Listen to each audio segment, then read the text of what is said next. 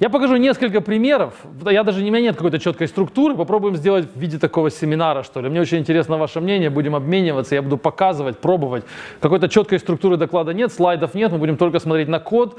Э, я покажу раз, два, три, четыре разных библиотеки, которые я сам создал за последние там три года.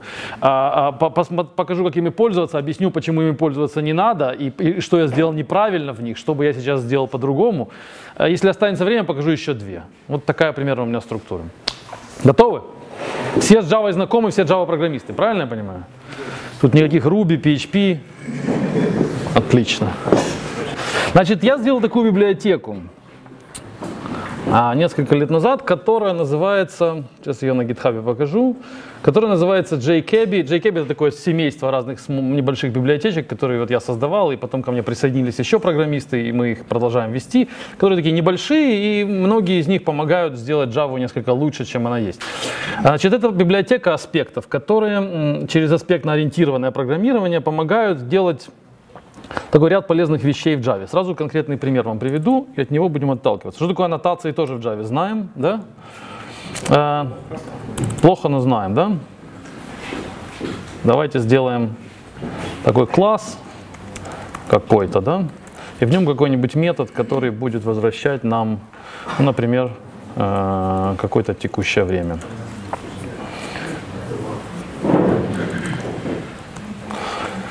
Значит, первое прикольная аннотация, которая э, интересно показать. Предположим, что нам этот метод иногда будет бросать exception, и мы не хотим, э, как мы можем сделать случайным образом, по-моему, это как-то так, да.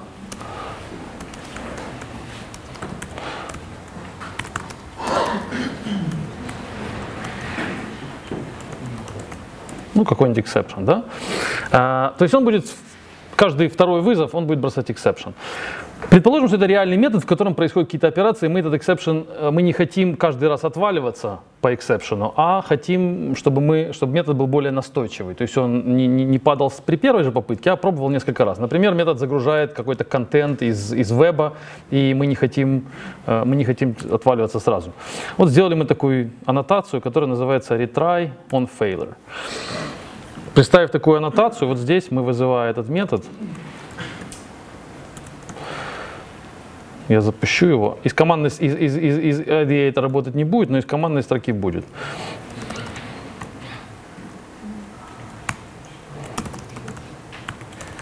А,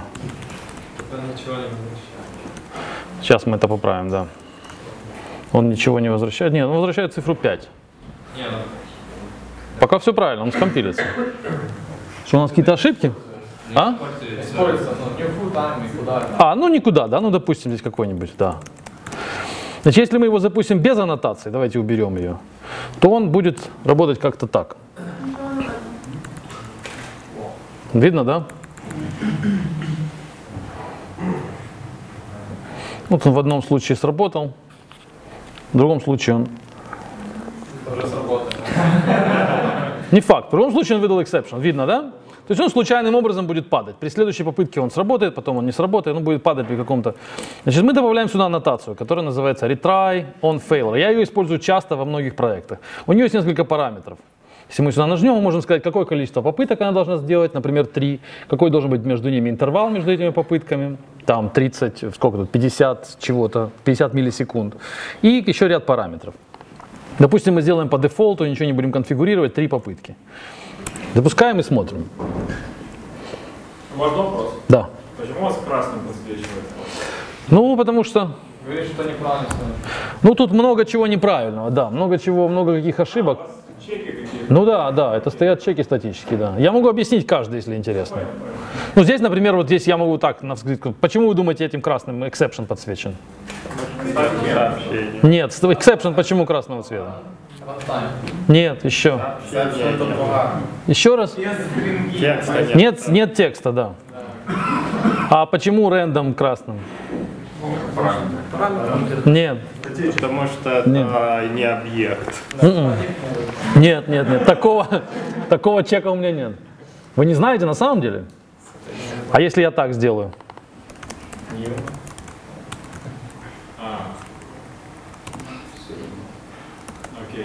Как там? Э, next, next, next in, да? Все равно красный. Почему? Это Что никто не знает, не с этим не сталкивался. безопасный рандомизатор. Так, близко. А какой правильный? Secure что-то. Да, да. И здесь can't resolve, ну да. Так, он все равно... А, потому что он int, нам нужен double. Все. А почему здесь красненьким time? Тоже не знаете? Без интерфейса. Нет. Ну, близко, но нет. Название плохое метода. Короче. Не, я думаю, проблема с доступом, проблема с его правами доступа. Да, он может быть, он не final. Проблема в том, что метод не final, то есть его могут переопределить, класс не является файналом, метод не является файналом и не является абстрактом. Мы вот в Киеве про эту, эту тему поднимали, то есть он должен быть вот так. Или даже, даже лучше класс должен быть сделан файналом. Вот, и он все равно красным. Почему класс красным? Какие мысли? Правильно. А, а сейчас почему? А сейчас почему было? Кто скажет? Почему эти два слова красным? Сначала стадия Правильно. оптимизация памяти. А почему он все равно красным? Потому что ничего не имплементит. Потому что через мы его. Package visible inner class foo. Паблик либо да. Все. А здесь почему красный мы сейчас посмотрим. А, он может быть статик. Да, это, кстати, интересная проверка. Смотрите, А, в последних IntelliJ она была пред- предложена. Этот метод, вы понимаете, о чем идет речь? Он пишет, метод time может быть статиком. Потому что this нигде не используется. Да, то есть нет нигде и поэтому метод действительно должен быть статический, потому что он никак не работает с объектом. И тогда здесь мы должны вызвать его. Стадик метод это ж плохо. Статик методы плохо, да, но в данном случае... Так, все, согласен, без статика. Все. Пробуем еще раз. Пробуем еще раз. Сработал с первой попытки, то есть ничего не произошло. Давайте посмотрим еще раз. Давайте увеличим вероятность провала. Он все время срабатывает. Давайте сделаем так. Если double меньше, чем 0,8, то есть он будет падать в 80% случаев.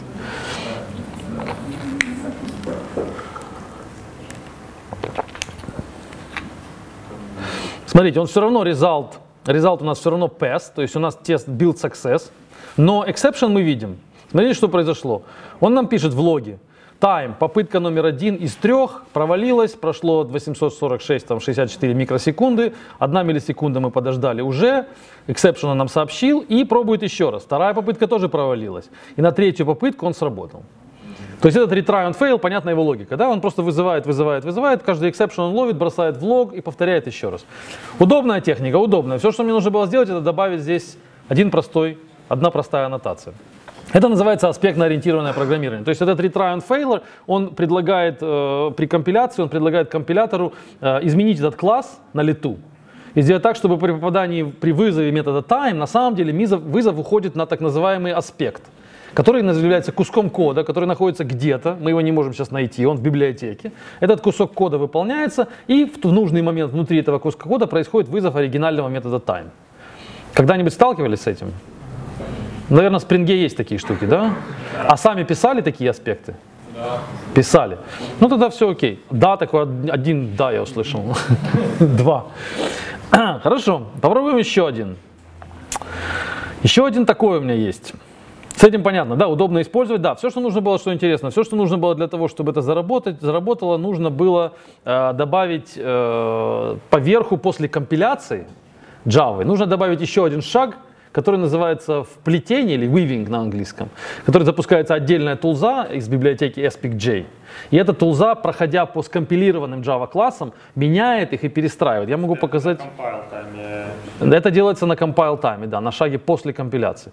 То есть, если мы здесь посмотрим э, таргет, что у нас получилось, то э, мы видим, что вот это классы, которые конечные, вот они у нас так собрались. Так? А вот наш класс, который называется, у нас вообще в тесте идет, речь идет о тестах, у нас тест-классы, так? Вот у нас этот Lviv тест, у нас в оригинале был один класс, но в итоге их получилось три. Видите? То есть если бы мы не делали этот вивинг, у нас бы получился один единственный класс, vivtest.class.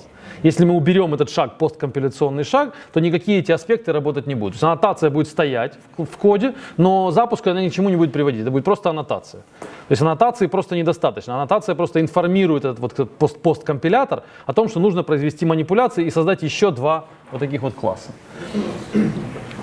Понятно более-менее, да, как это происходит? Ну, такая магия, которая она... Мы сейчас поговорим, почему это плохо, но вы должны понимать технически. А, а вот это оригинальный, оригинальный вот отсюда, unwoven тест. Это даже не оригинальный. В общем, не суть. Как это работает? Давайте идем дальше. Еще покажу такие три интересные аннотации. А, аннотация называется logable. Мы добавляем ее к методу. Если мы хотим увидеть в процессе выполнения мы сейчас после этой аннотации мы в логе увидим,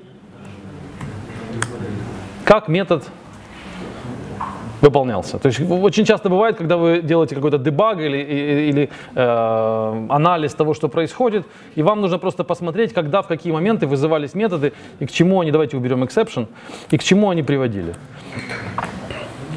Логабл аннотация добавляется, и все вызовы этого метода будут сразу попадать в лог. Сейчас покажу как. Метода. Вот эта строчка, которая, да, вот эта строчка, которую мы увидели. Видите? То есть он нам показывает, time был вызван, он вернул цифру 5 за 2 и 48 миллисекунды. А внутренность она не... Довольно удобно. А внутренность она не трогает, она только внешний барьер, она стоит на внешнем барьере в метод. То есть при входе в метод она засекает время, потом выполняет, вызывает этот метод. При выходе из него считает, сколько ушло времени и бросает это в лог. Удобно, весьма удобно, можно эту аннотацию прикрепить вообще вот сюда к классу, и тогда все его методы будут сразу автоматически превращаться, ну, у всех у них будет одинаковое поведение. Довольно удобно. Аспектно-ориентированное программирование. Сейчас мы обсудим, почему этого не надо делать. Следующая аннотация, которая тоже интересно посмотреть. Допустим, сделаем так. Давайте каждый раз возвращать новое случайное число. А, какой-нибудь next int, так? И каждый раз его вызывая, мы его, давайте сделаем так, я сделаю это как объект, а потом вызову этот time и вызову, выведу его в консоль. Раз. Первая попытка. Вторая и третья. Что мы сейчас увидим в консоли? Какие предположения? Next int, по-моему, нам нужно здесь предел указать, да? Как-то так. У нас будет, наверное, три разных значения. Логично, да? Ну, по идее, да. Давайте проверим.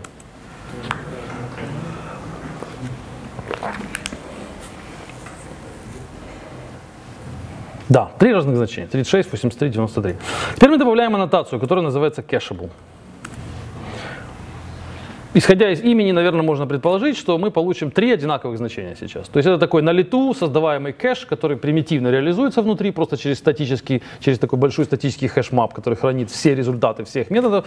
Имплементация крайне простая, это не какой-то там супер JCache или что-то еще. Она довольно примитивная в памяти, но для многих ситуаций она подходит. Добавил одну аннотацию, и вот мы получаем одно и то же значение. Видно, да? 37, 37, 37. И где-то здесь можно, если включить э, уровень дебага, то он напишет там, что в кэш сохранился, из кэша достался, в кэш очистился и так далее. Можно сделать еще одна, там еще одна такая аннотация удобная, которая позволяет кэш очистить. Допустим, мы time читаем, он один раз его поймал, он будет его пожизненно хранить. Ну или не пожизненно, а можно поставить на какой срок. Тут lifetime есть. Мы можем показать, что он должен хранить его там, не знаю, 5 секунд.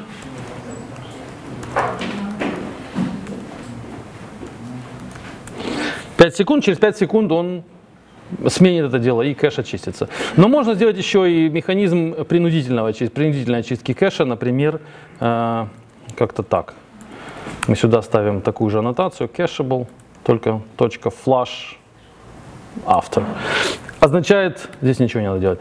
А по этой аннотации система поймет, этот аспект этот поймет, что когда мы вызвали метод clear, то все остальные методы, которые были закишированы в рамках этого объекта, должны очиститься. Если я сделаю вот так три раза, потом сделаю здесь clear, то при последующем вызове у нас будет новое значение. Логично, понятно пока? Следите, да? Опять же, мы приходим к тому моменту, когда будем говорить, почему это плохо. Пока оно вроде как работает. Видно, да? 83, 83, 83, 95. Твоя, твои аспекты. Да, Писал. да, это я сам писал. Да, да, да. Да, они написаны мной. Сейчас посмотрю четвертый, я хотел показать. А, Да, ну и последний тоже интерес- интересный, который может быть вам полезен. Я их использую, хоть это и плохо, хоть этот подход мы сейчас будем критиковать, но я их использую в проектах и да, ну потому что практически они удобны. Java пока не позволяет нам сделать э, иначе, и мы сейчас обсудим почему. Но мы должны понимать, какой недостаток у этих решений. И последний, который интересно посмотреть, называется он timeable. Добавляем аннотацию time, timeable и говорим здесь, что у нас есть всего лишь одна, всего лишь одна секунда на выполнение этого метода. Всего лишь одна секунда. А здесь мы сделаем какой-нибудь... э, чего? Ну, while true можно, но while true... Хороший, кстати, point. Сейчас я вас спрошу, почему это не будет работать.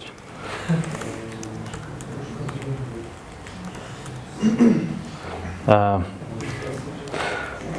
Ну, во-первых, почему красный, почему не компилируется? Вопрос первый. Зната- Знатокам. А? Unreachable. Да, код не попадет, то есть Java Compile понимает, что нужен здесь какой-то вариант выхода. Ну, давайте здесь напишем, что здесь нужно написать. Предложения какие-то есть? Все что угодно. Ну давайте тот же самый рендом, да? Если, если, по какому условию мы будем выходить? Ну давайте так, если, если рендом равняется 0. Э, Сейчас мы подойдем 0.123, то есть фактически никогда, да? Так мы скомпилируем, и он, наверное, этот метод будет стоять достаточно долго и ни к чему хорошему не приведет. Давайте его вызовем и запустим. Давайте без timeable, да, чтобы убедиться, что он реально зависнет и машина будет стоять. Java машина.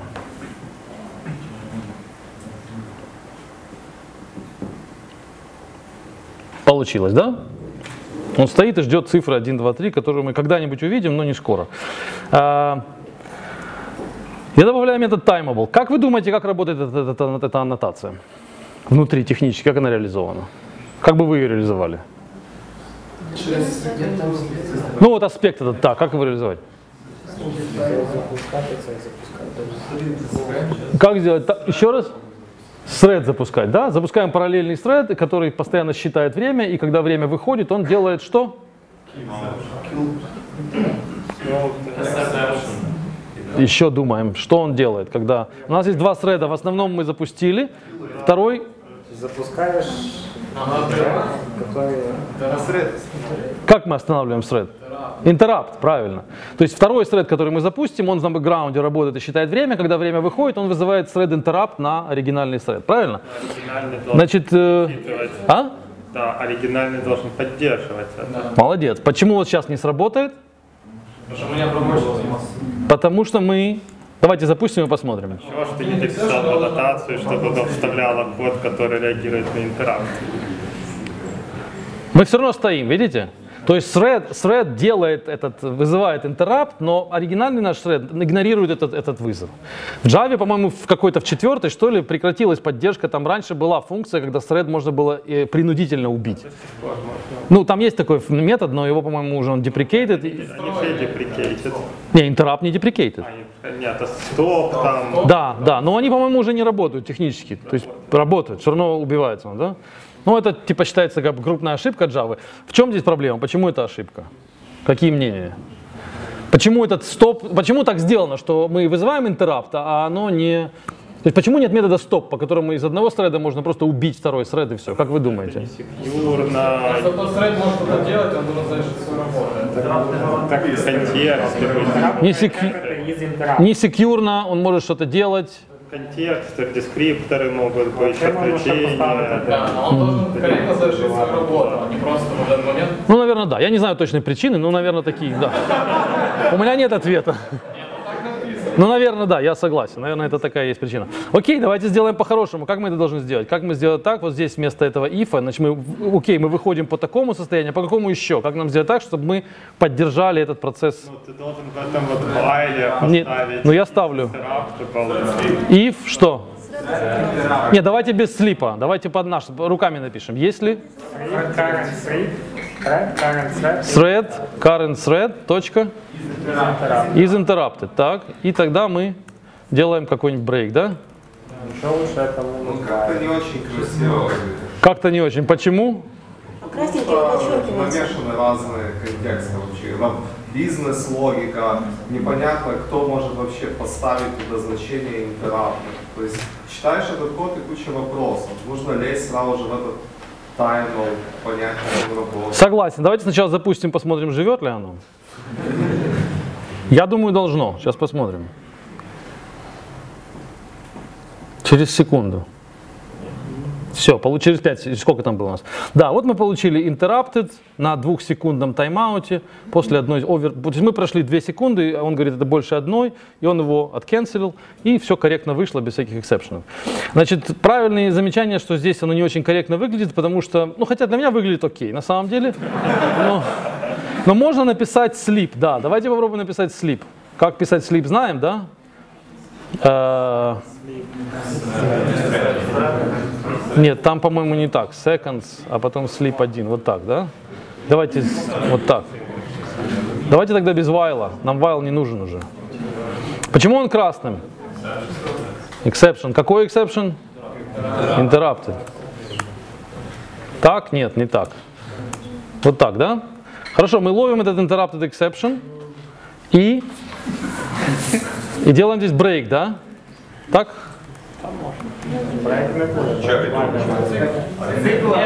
А, да, точно. Вот как-то так, да? Некрасиво как-то, да? Ладно, давайте так не будем. Давайте его просто пробросим дальше, да и все. Все, проблема решена. Внутри этого слипа на самом деле делается ровно то же самое. Там делается такой же точно if. Если мы сейчас пойдем в этот метод, мы увидим там этот слип, этот э, to millis excess nanos sleep. Идем в thread sleep. И здесь мы видим ровно такой же код. Сейчас мы его найдем. Sleep millis, сюда идем. А, тут нативно. Ну, хорошо. А, подождите, ну да, нативно или нет? Посмотрим. Ну да, мы почему-то его не видим. Ну, он там нативно реализован именно так, да. Он делает то же самое. Хорошо.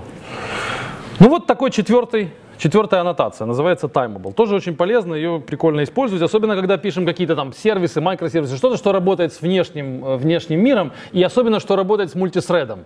Когда у вас есть пул потоков, ну я это с этим сталкиваюсь часто, если у меня есть пул потоков, там, не знаю, десяток у меня средов открытых, и я, если у меня ко мне идет трафик, то я не хочу, чтобы какой-то сред по какой-то причине залип и там стоял, там, не знаю, минуту, две, три, четыре по какой-то причине, которая мне, в принципе, роли не играет по какой причине. Я хочу, чтобы у меня эти 10 все средов каждый отстреливал там за, за 50 миллисекунд, и не дольше. А если ему нужно дольше, то пусть он лучше делает, пусть он лучше произведет exception, и какой-то клиент там будет недоволен, но это будет один из там тысячи клиентов. Чем если у меня залипнет один поток, и 10% нагрузки у меня просто потеряется, нагрузочной емкости, потеряется из-за того, что у меня один из, из 10 потоков просто зависший там на секунду или на, не знаю, 10 секунд. Поэтому я ставлю код, который у меня выполняется, часто я так делаю, я ставлю этот timeable, который отсекает там через 100 миллисекунд и все. И таким образом я вижу ошибки. Если начинается это отсечение, я вижу в логах, что меня какие-то среды крэшатся по, по тайм-ауту, и начинаю обращать на них внимание. Но в целом общая, общая картина этого сервиса, она получается, так сказать, ну, более устойчивая, чем когда я даю средам возможность работать сколько угодно времени. То есть я увидел это как такой положительный для себя. Ну, тебе нужно сюда вставлять проверку из Interrupted. Да, ну не, ну слип, все, слип делает сам проверку. А, нет, слип, э, слип пробрасывает interrupted exception, да, но он, этот exception, давайте запустим и увидим. То есть слип сейчас зависнет, а когда произойдет interrupted, когда будет interrupted вызван на... Ты же слип у себя не вызываешь в коде. Я вызываю. Ну, в своем коде. Вот он нам бросил interrupted exception, еще и с текстом, видите? То есть он вот этот метод, вот здесь он завис, вот тут. Здесь мы его вызвали, он стоял там 100 секунд, ждал, ждал, ждал, потом произошло interrupted, статус interrupted изменился у, у thread, статус. Когда мы вызываем thread.interrupt, Там всего лишь ставится флажок. Там больше ничего не происходит. Просто в thread в памяти ставится булиновский флажок в, true. Вот и все. Это все, что делается, когда мы вызываем thread interrupt. И когда там ставится флажок в единичку, в, в единичку, в true, должен кто-то этот флажок прочитать. Если никто его не читает и все его игнорируют, то thread продолжает свое выполнение. Поэтому тоже, если вы пишете какой-то длинный код, в котором идет работа, там, допустим, с математикой, расчеты, и вы не обращаетесь никуда к, операцион- э, к файловой системе, не обращаетесь никуда к каким-то сторонним библиотекам, то, скорее всего, нигде не проверяется этот флажок. И поэтому, если у вас какая-то длинная математическая логика, которая долго что-то считает, то, на мой взгляд, это корректно в, в этих циклах расчета, например, периодически проверять флажок на интеррапты. Тогда у вас будет thread, так сказать, ну, дружественно продизайнен под использование в, в, так сказать, в среде, где его хотят, иногда могут остановить. Потому что если ваш код да, делает какие-то длинные математические вычисления, я ставлю этот timeable, то мы никогда не закончим. Он будет считать, считать, считать, игнорируя мой, игнорируя мой, мой сигнал. Не хочешь проинструментировать код, чтобы оно само расставило? Ну, тогда мы будем влазить, сейчас мы как раз к этому подойдем, тогда мы будем влазить в код, а люди будут, ну, программисты не будут знать, почему так произошло. Допустим, он не хочет, чтобы его... Знают с аннотациями, что происходит. Ну вот сейчас мы про это поговорим. Вот такие четыре аннотации. Называется это аспектно-ориентированное программирование. На мой взгляд, это неправильный подход. Какие мысли почему? Как вы думаете, почему это может считать неправильным? Что здесь плохого? Мы видим преимущество. Ну, понятно преимущество, да, очевидно. Мы, я написал одну строчку кода, а там вот такой блок, кус- такой кусок кода на самом деле работает. Но что здесь нехорошо? Совершенно правильно. Неявный код. Мы не знаем, где этот код. Вот как мне сейчас найти этот вот thread, который timeable? Где он запускается? Как он стартует? Как мне этот код найти? Нажимая сюда, я вижу, ну вот это вот все, что я вижу. Поиску поискать, где используется аннотация, где она класса обрабатывается. А к- Поиску по всем, по, с- по классу, да, по сорсу и находит, где она обработана. по как- а какой сорс искать-то? По- У меня в source у меня один файл. Библиотека же не прочена. Библиотека. Ну давайте пойдем в эту библиотеку. Ну, Смотри, гарантированный способ JVM может тебе наружу выдавать э, ассемблерный код, который она генерит, а ты его можешь считывать и анализировать. Это первая проблема, которую я вижу. Это то, что непонятно, как это работает. Хотя у нас была большая дискуссия на, на Java Day э, относительно этого, и Женя Борисов считает, что это хорошо. Вот его сейчас нет, к сожалению, но мы бы, может быть, поговорили. Он считает, что это хорошо, что код не виден. И его аргументы такие, что а зачем его видеть? Зачем нам здесь вот знать, как этот thread запускается, как он там стартует? Ну вот мы поставили аннотацию, у нас такая магия там произошла, как в этом спринге, который вы обсуждали. Там тоже налепили, налепили аннотации, и потом большинство этих пазлов, которые вы обсуждали, это о том, как же эта магия работает.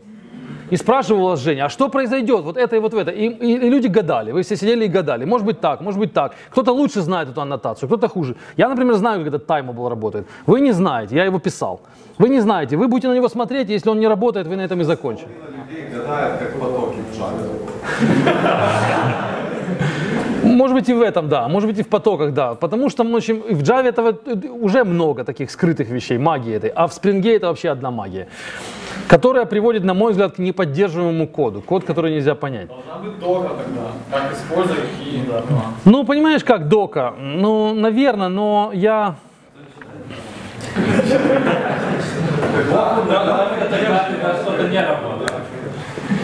Таймер был есть на доках. Timeable есть, ну давайте нажмем, мы увидим. Ну вот документация, вот она там, страничка текста. Ну вот используйте так, нажмите сюда, Э, важно отметить.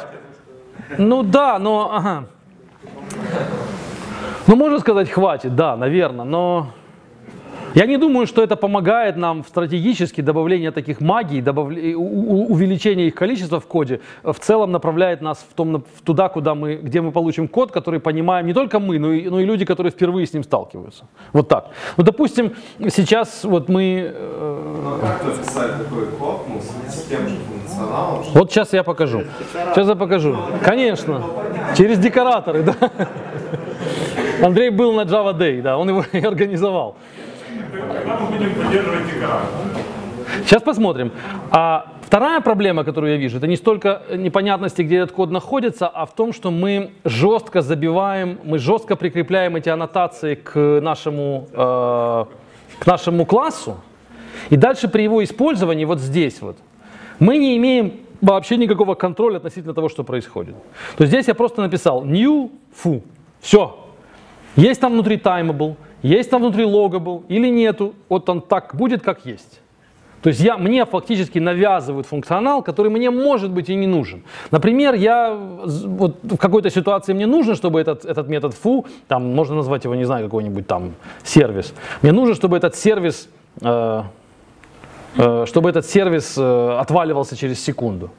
А в другом случае мне нужно создать этот сервис, который отваливаться не будет. Мне нужен сервис, который будет работать в одном срейде. Мне важно, чтобы он там в микросервисе, чтобы он отпадал, отпадал быстро. А здесь мне ко- тот, который будет э, работать максимально долго. Как мне это сделать? Все. У меня такой возможности нет. Потому что разработчики этого сервиса вбили туда эту, эту, эту аннотацию. То есть аннотация, ее главная проблема, на мой взгляд, в Java, вообще идея аннотации, на мой взгляд, ложная в Java. Это неправильное направление движения. Это вещи, которые прикрепляются жестко к классам, не позволяя ни, а, ни пользователям этих классов, ни авторов, ни коду внутри этого класса контролировать эту ситуацию. Этот код, который вот здесь внутри, он тоже ничего не знает про аннотацию. Он тоже не понимает, что происходит. Ни этот код не понимает, не имеет доступа туда, ни этот код не имеет доступа. То есть мы что-то такое лепим поверху объекта, даже не объекта, а поверху класса. Даже объект не знает об этом. Мы налепляем что-то на этот класс, мы фактически меняем дизайн класса, и потом никто не может его э, ни, ни- ни потрогать, ни поменять, ничего с ним сделать. То есть это жесткое такой hard, hard, hardcode такой подход, который единожды делается, и, и отменить его невозможно. Вы, вы сейчас смотрите на них негативы, ну так. Да. Вот если посмотреть на позитивы. Ну, позитив я только что рассказал, это прекрасно, да, они короткие. Они короткие, они простые, да, они добавляют магию какую-то, и они прекрасно работают, если вот, например, я знаю, как они работают, я их иногда использую. Но если бы можно сделать было иначе, я сейчас покажу как, то мне было бы лучше, и вам было бы лучше. То есть аннотация это Java повернула в направление, вот когда их придумывали, в направлении, э, на мой взгляд, это облегчить жизнь плохим программистам. Вот они не знают, как точно работать, что такое объектно-ориентированное программирование, как эти объекты склеивать. Давайте им дадим аннотации, они их поклеют, поклеют, и мы весь функционал перенесем к умным программистам. Там, вот Spring, куда-то еще. А этих научим вот через пазлеры там, решать точечные проблемы. Вот так я это вижу. То есть просто объясним им, что вот это сюда прикрепи сюда такую аннотацию, это сюда. Как это внутри работает? Я не уверен, что э, все, кто здесь присутствует и правильно отвечали, те, кто правильно отвечал, реально видел код, как внутри реализован внутри этого спринга эти пазлеры, ну эти, вернее, аннотации. Для всех сделана, для хороших и для плохих. Да, так она сделана так, что плохих количество увеличивается в итоге. А, копор- Ясно, все могут себе позволить сыры по 500 гривен. Ну, наверное, может быть так. Но я бы делал это иначе. Я вам покажу как. Я бы убрал эти аннотации все. Если бы Java мне... Ну, допустим, окей, допустим, начнем сейчас так, сделаем, что можно. И я бы сделал как-то так. Во-первых, я бы сделал интерфейс. Безусловно. Назовем его как-нибудь так. Давайте назовем его сервис. Сейчас дайте мне минутку, мы сейчас немножко покодим. Назовем это какой-нибудь там base сервис, то есть тот самый, который вот выполняет работу.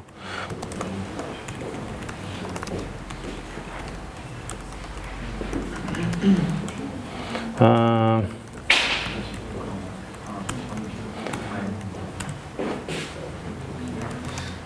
Так, почему time красным? Еще раз. Оверрайта нет. Почему здесь подчеркнут interrupted exception? Еще раз.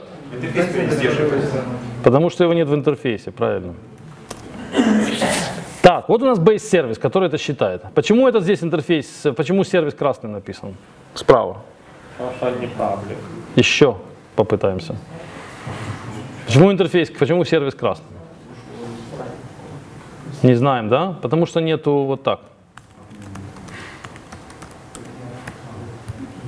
Понятно? Так правильно. Потому что просто сервис, понятно, да, возникает confusion, мы не понимаем, о чем, о каком сервисе идет речь. Либо, он, через- либо нужно идти вверх и смотреть в импорт, либо мы его искать должны внутри класса. То есть хорошая практика программирования, IntelliJ советует, чтобы было всегда fully, fully qualified, так называемый. То есть полное имя класса через точку. Точно так же, как this нужно обязательно использовать. Нельзя писать просто имя переменной или просто имя метода. Пишем всегда this, точка, да, всегда, всегда, всегда это обязательно, да. Ну, я так рекомендую, IntelliJ со мной согласна. Почему здесь сервис красным? Потому что не паблик. Потому что не паблик, да? Хорошо. Смотрите, мы уже потихоньку... Да я еще на докладе покажу. Ты уже будешь лучше, чем IntelliJ, да? Так. Дальше. У нас есть такой интерфейс. Теперь мы хотим, чтобы он был, а, чтобы он был э, допустим, logable, да, чтобы в логе мы могли писать. Давайте начнем с простого. Значит, что мы делаем? Декоратор. Мы делаем декоратор. Отлично.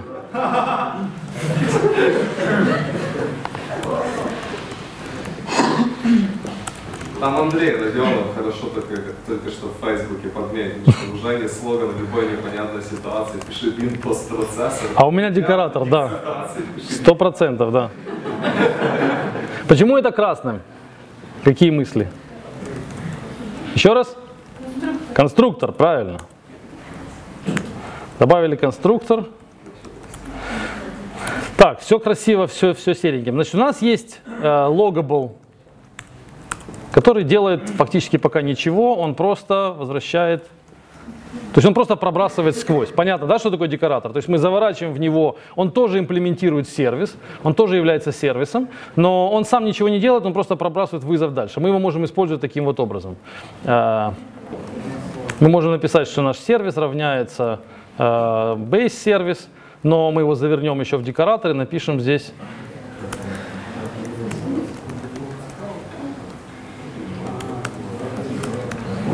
Вот так выглядит декорирование объекта.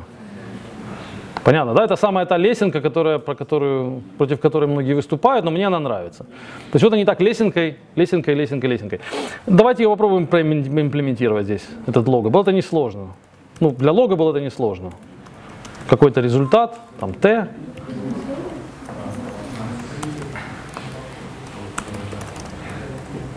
Давайте засечем время. Как будем засекать время? Как? Кого? Шепелева. А, у Шипи... Не. Маша.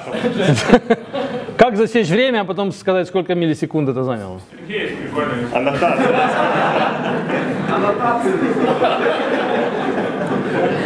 Так, я сделаю так.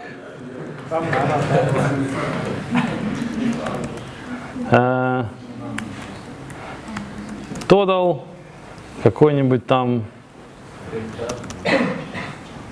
ну какой-нибудь там у нас здесь будет дельта. Э, Так, вопросы сразу. Почему плюсики красненьким? Потому что не StringBuilder. А? По- Потому что, потому что нужно, да, потому что конкатенация строк это плохая практика. Все знают почему?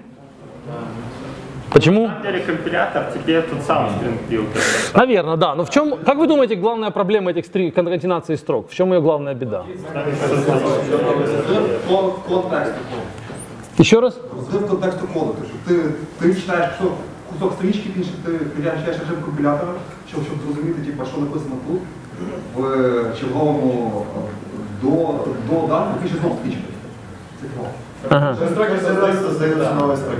Про создание новых строк я услышал, но правильно замечено, грамотный компилятор сейчас это дело все разрулит и будет там конкатенация. То есть это, про- это уже не проблема в современном мире. Еще можно, если Я думаю, что вот эта причина, она ближе. представление, если ты, к примеру, к, едини- к единичке прибавишь строку, вернее символ, то будет один результат. Если ты к э, символу прибавишь единичку, может быть второй результат. То есть там не всегда ассоциативно. Ну, похоже, да. На мой взгляд, главная проблема в том, что это нечитаемо. Вот я согласен с... э, Оно нечитаемо в плане того, что оно тяжело поддерживать, тяжело читать, тяжело понимать. Давайте это переделаем, вы увидите, как красивее станет. Есть такая... А? И локализация тоже будет очень затруднена, да. Вот так это должно выглядеть, по-хорошему. Как же объект, форматор. Ну, статик метод, потому что Java, добро пожаловать. Принтер. А, с outprintf? Так? Ну, смотрите. Что-то я сегодня новое изучил. Ну вот, да. Так значительно красивее. Почему? Потому что вот эта целиком строка, она целиком нам дает, так сказать, контекст или целиком дает нам сообщение, которое мы ожидаем увидеть. И в нем заменяются вот эти процент D. Знаете, как это форматирование работает, да? Это из, из, из C++, из C, вернее, пришла функция. printf она там называлась, называется. Очень удобно, значительно лучше, чем вот эта конкатенация строк, которая, которая выглядит в итоге плохо. Почему system out красным? А? Логер, логер. Что логер? Это считается, кто не знает. Вообще это считается плохой практикой использовать system.out, system.in, в принципе, потому что это hardcode такой, ну, это вбитый, ну, это жестко прикрепленный, э, наш класс получается жестко прикрепленный к консоли. То есть его уже этот dependency нельзя разорвать.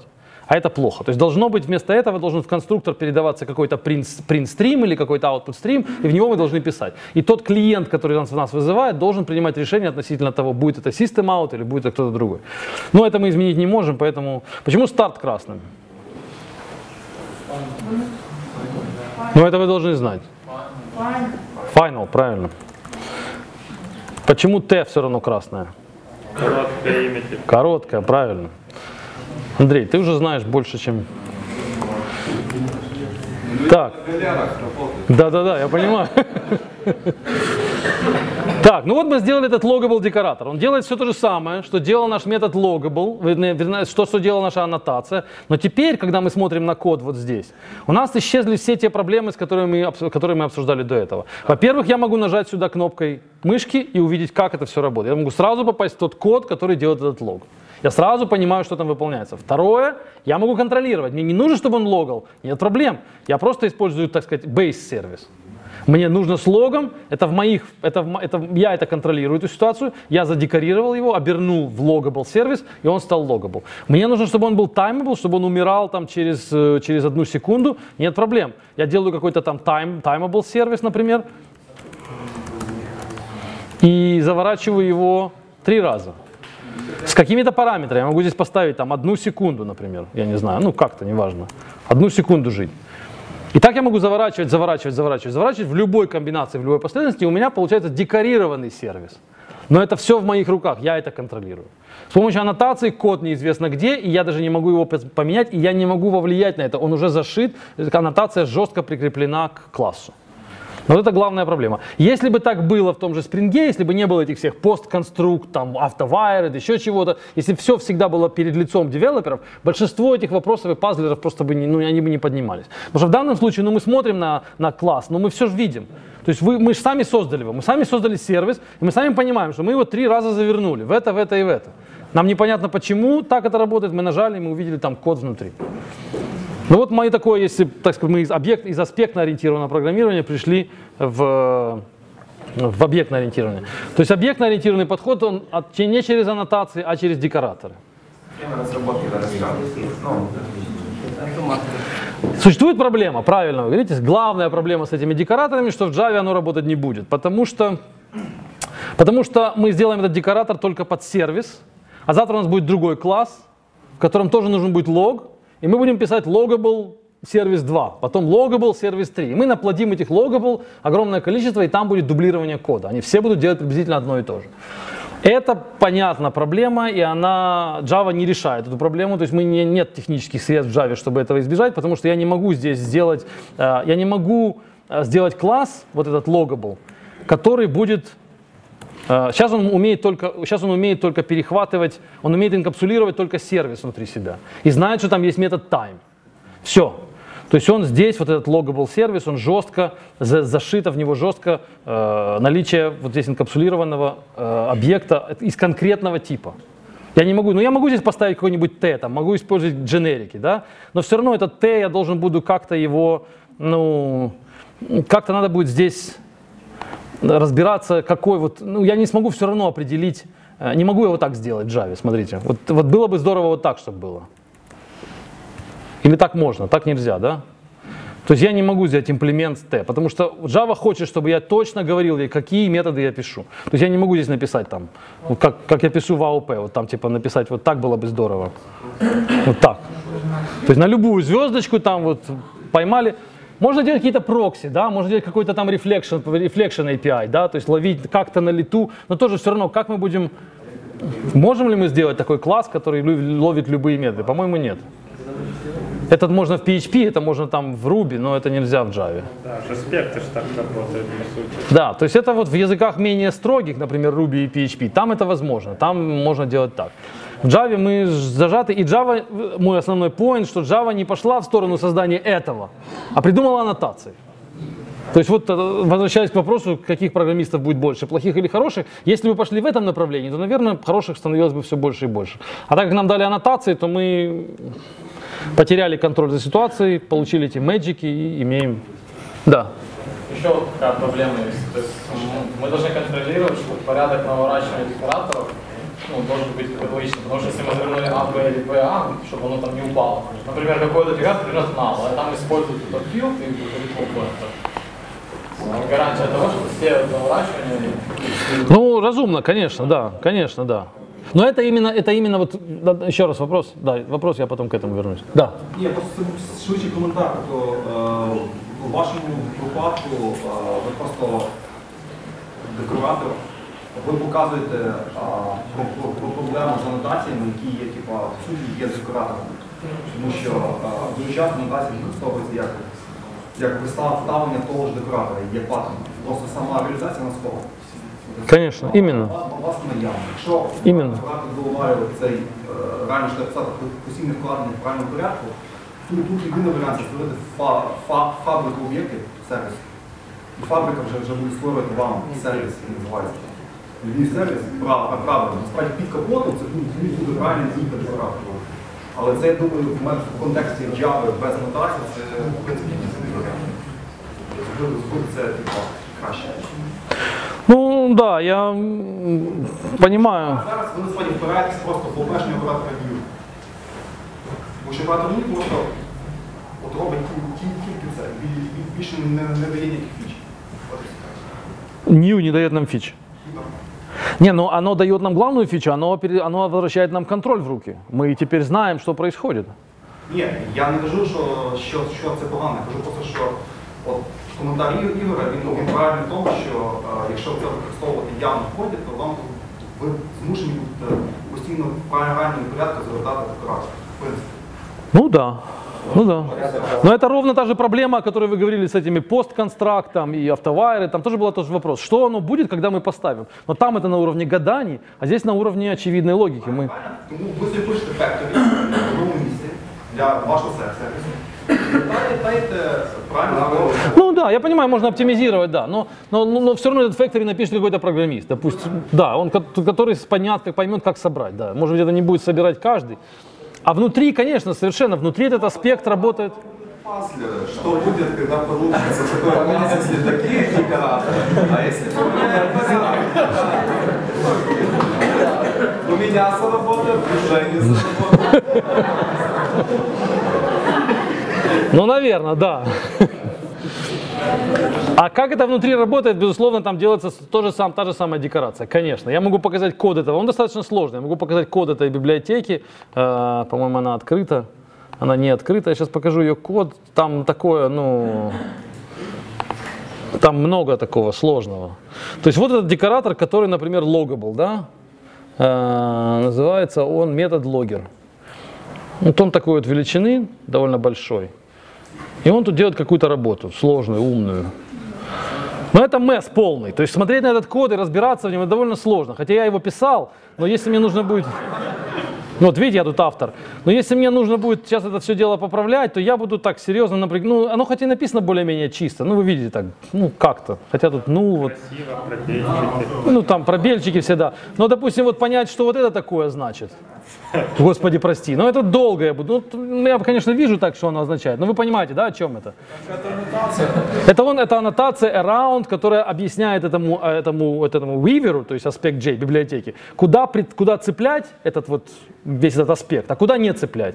И здесь вот видите, там, значит, он пишет, у него тут свой синтаксис, он пишет в момент, когда выполняется метод. Метод, который паблик, и который что угодно возвращает, и на котором есть вот такая аннотация, которая с любыми параметрами, и имя метода любое, и любое количество параметров, то и при этом не выполняется string.string и не выполняется хэш-код. То есть на них нельзя прикрепить аннотацию. На can equal нельзя прикрепить. И нельзя прикрепить на equals. И еще какой-то C-flow. Вот это я вообще не знаю, что такое.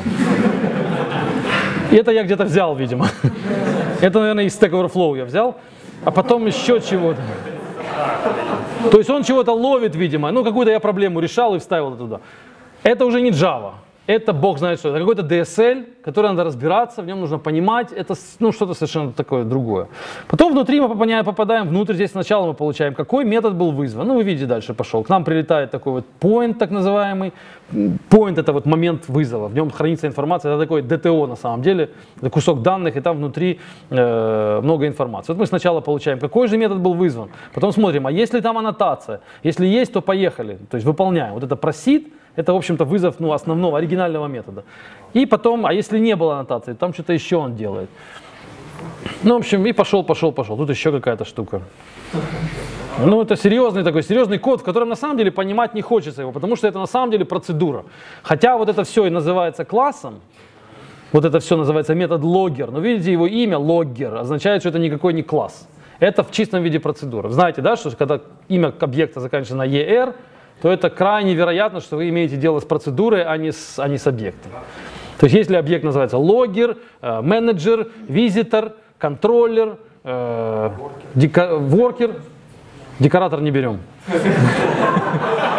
Воркер и, и много еще других ER, то это значит, что вы уже пошли в сторону процедурного программирования. Это вы уже не на ООП пишете, а вы уже мыслите процедурами.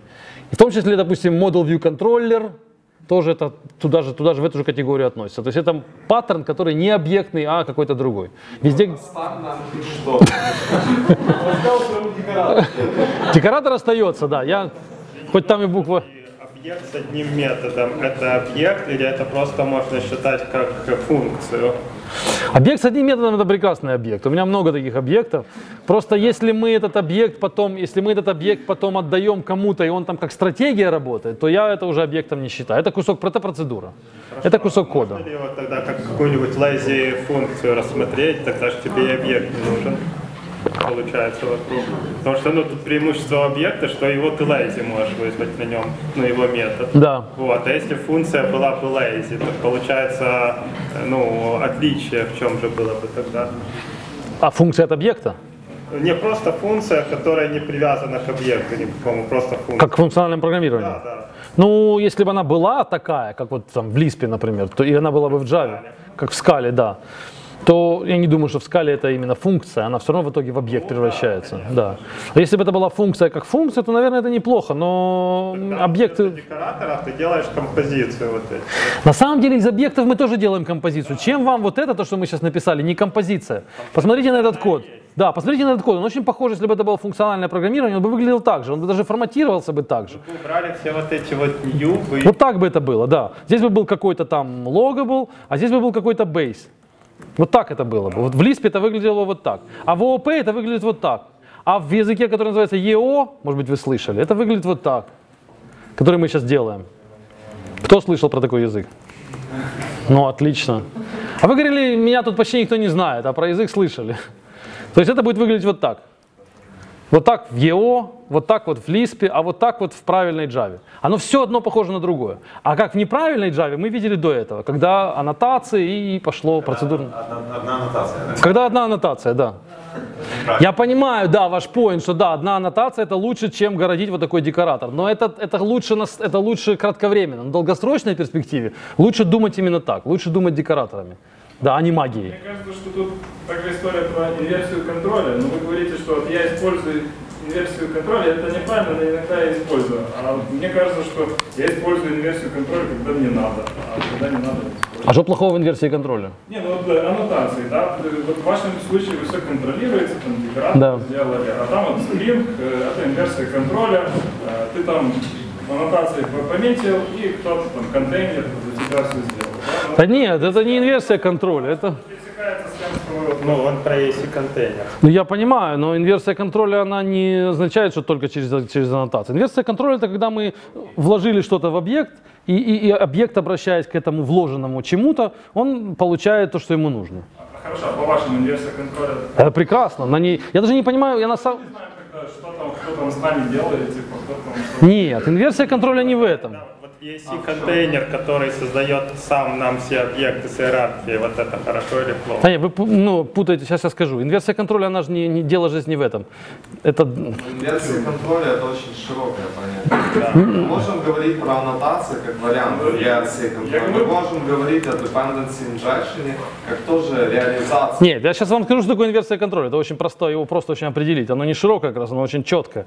Вот когда мы, приведу пример. Класс, который будет называться, а, ну давайте назовем его принтер. Не должно быть, да, такого, но тем не менее. А, и назовем, у него будет метод print. То есть это никакой не класс, это тоже очень довольно процедурно.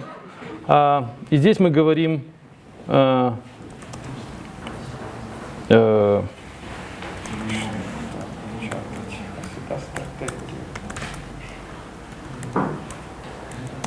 Вот этот код, который мы сейчас видим, здесь нет инверсии контроля. То есть к нам приходит number как number.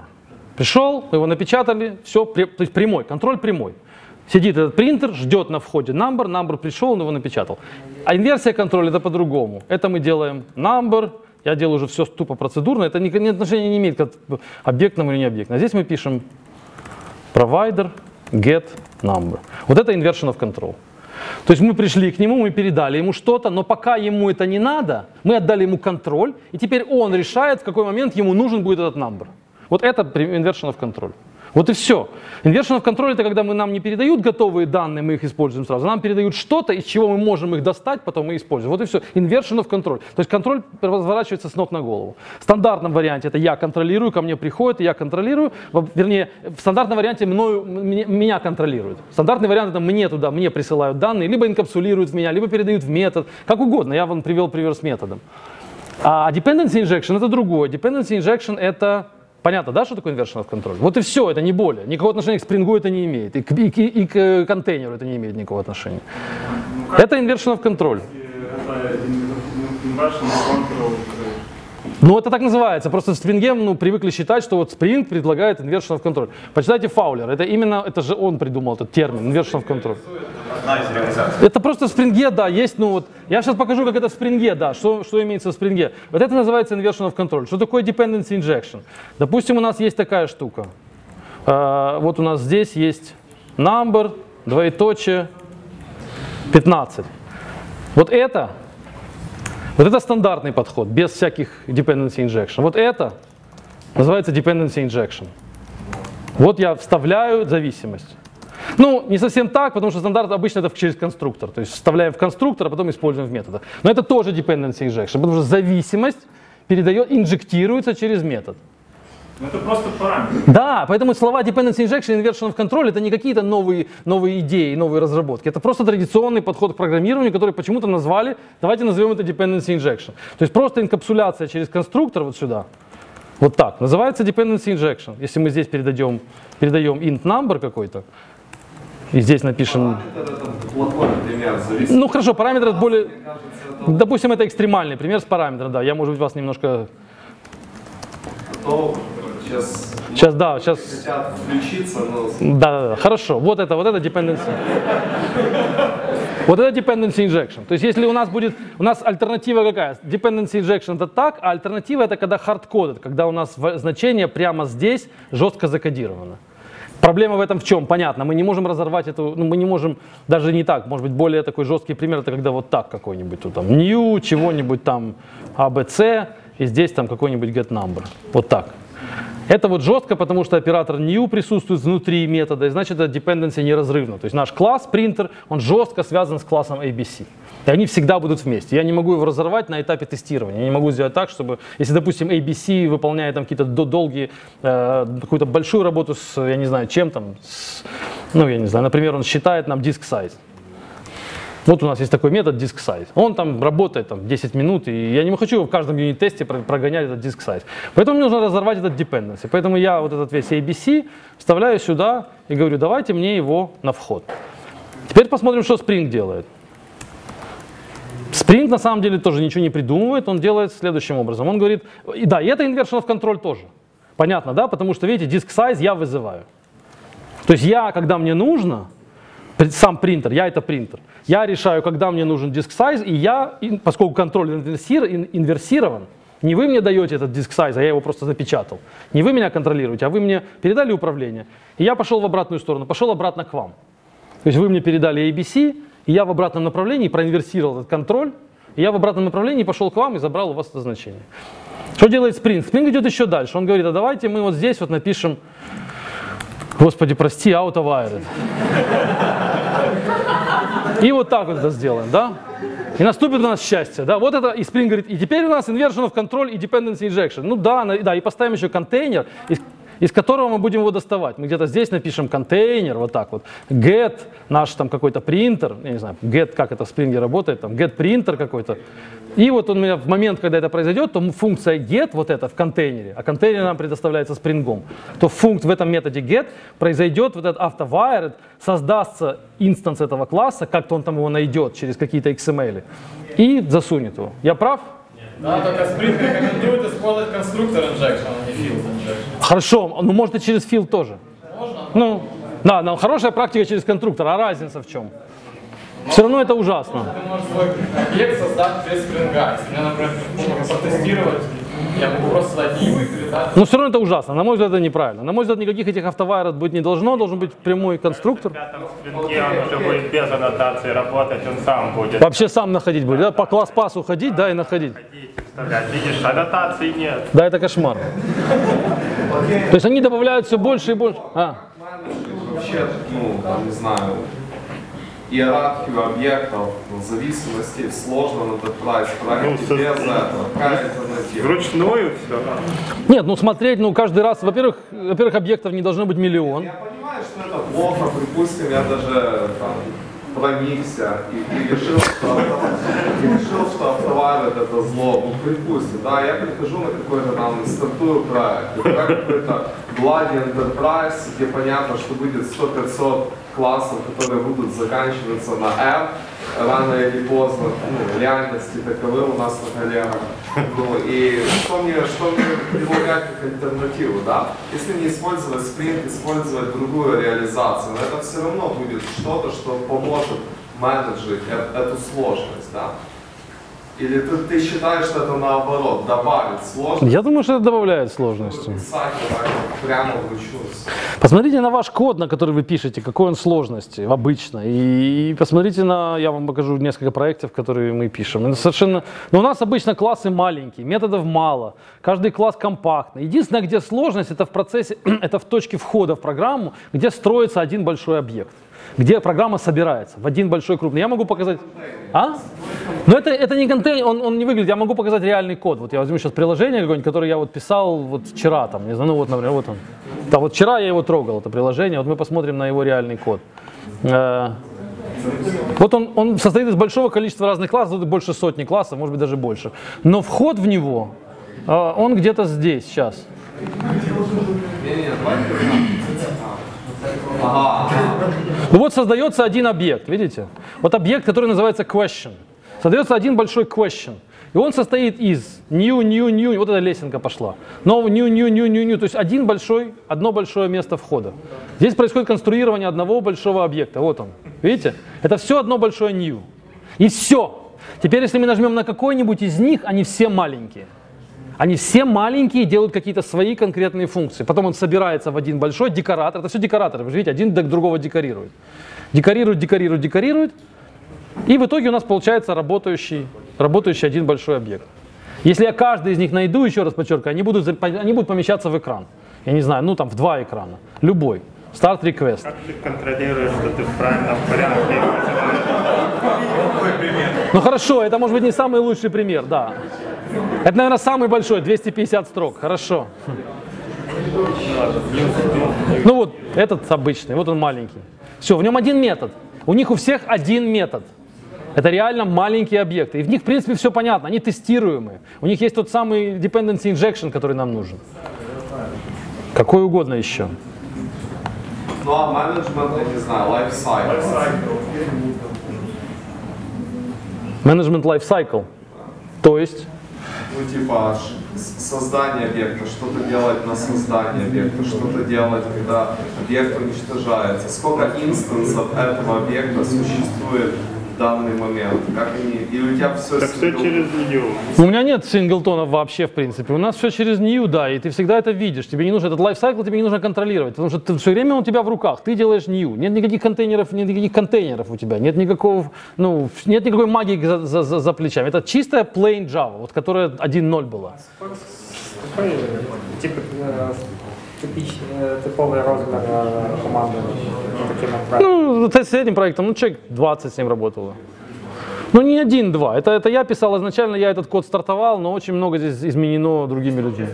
Создание одного объекта с заданным поведением создается 100-500 объектов по факту, да?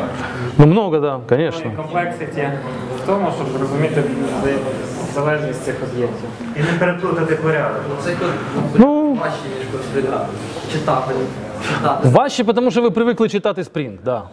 Допустим, мне нужно иногда сделать так, чтобы никто в дальнейшем не мог... э, вот смотри, как они идут. Вот у нас есть такой объект, который называется agent it- iterative. То есть он группирует, ну такой chain. Он получает э, переменное число параметров, дальше они по порядку. И каждый из них тоже agent. То есть он agent, и они агенты. Если я хочу, допустим, чтобы эти всегда три, например, стояли вместе, то я делаю вот так. Вот они группируют. Тестирование ты каждый раз создаешь специальные иерархии под какой-то А для тестирования тесты очень маленькие. Я тоже покажу тесты. Давайте посмотрим, как они тестируются, эти объекты. Каждый из них тестируется самостоятельно. Каждый понятно. А вот Всего вместе это интеграционный тест. Если мы хотим интеграционный тест, тоже можно его написать. Они у нас они есть. Но в интеграционном там будет все подключено. То есть, если, допустим, этот объект, например, вот этот объект у меня подключен к Твиттеру, то есть этот объект реально шлет твиты. Но я не могу все вместе протестировать, чтобы он слал твиты да, на этапе тестирования. Поэтому такого цельного у нас тестирования для данного проекта нет.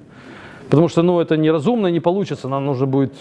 Ну, в общем, нет такой А возможности. ты можешь? Ну вот, допустим, для этого твита, вот здесь, который твитит, у меня есть юнит-тест, который работает, вот он, твитс-тест, в котором я мокаю сам твиттер. Вот посмотрите юнит-тесты, вот их размеры.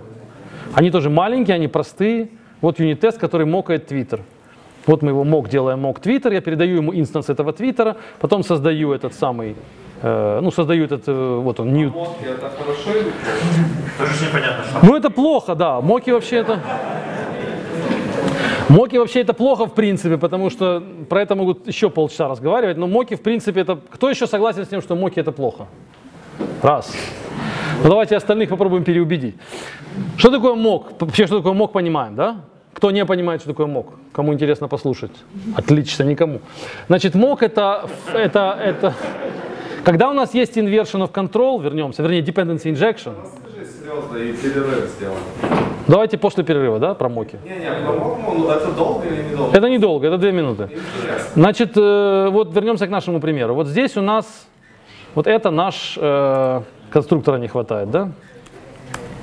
Ой. Эм, вот наш класс, который нам нужно тестировать.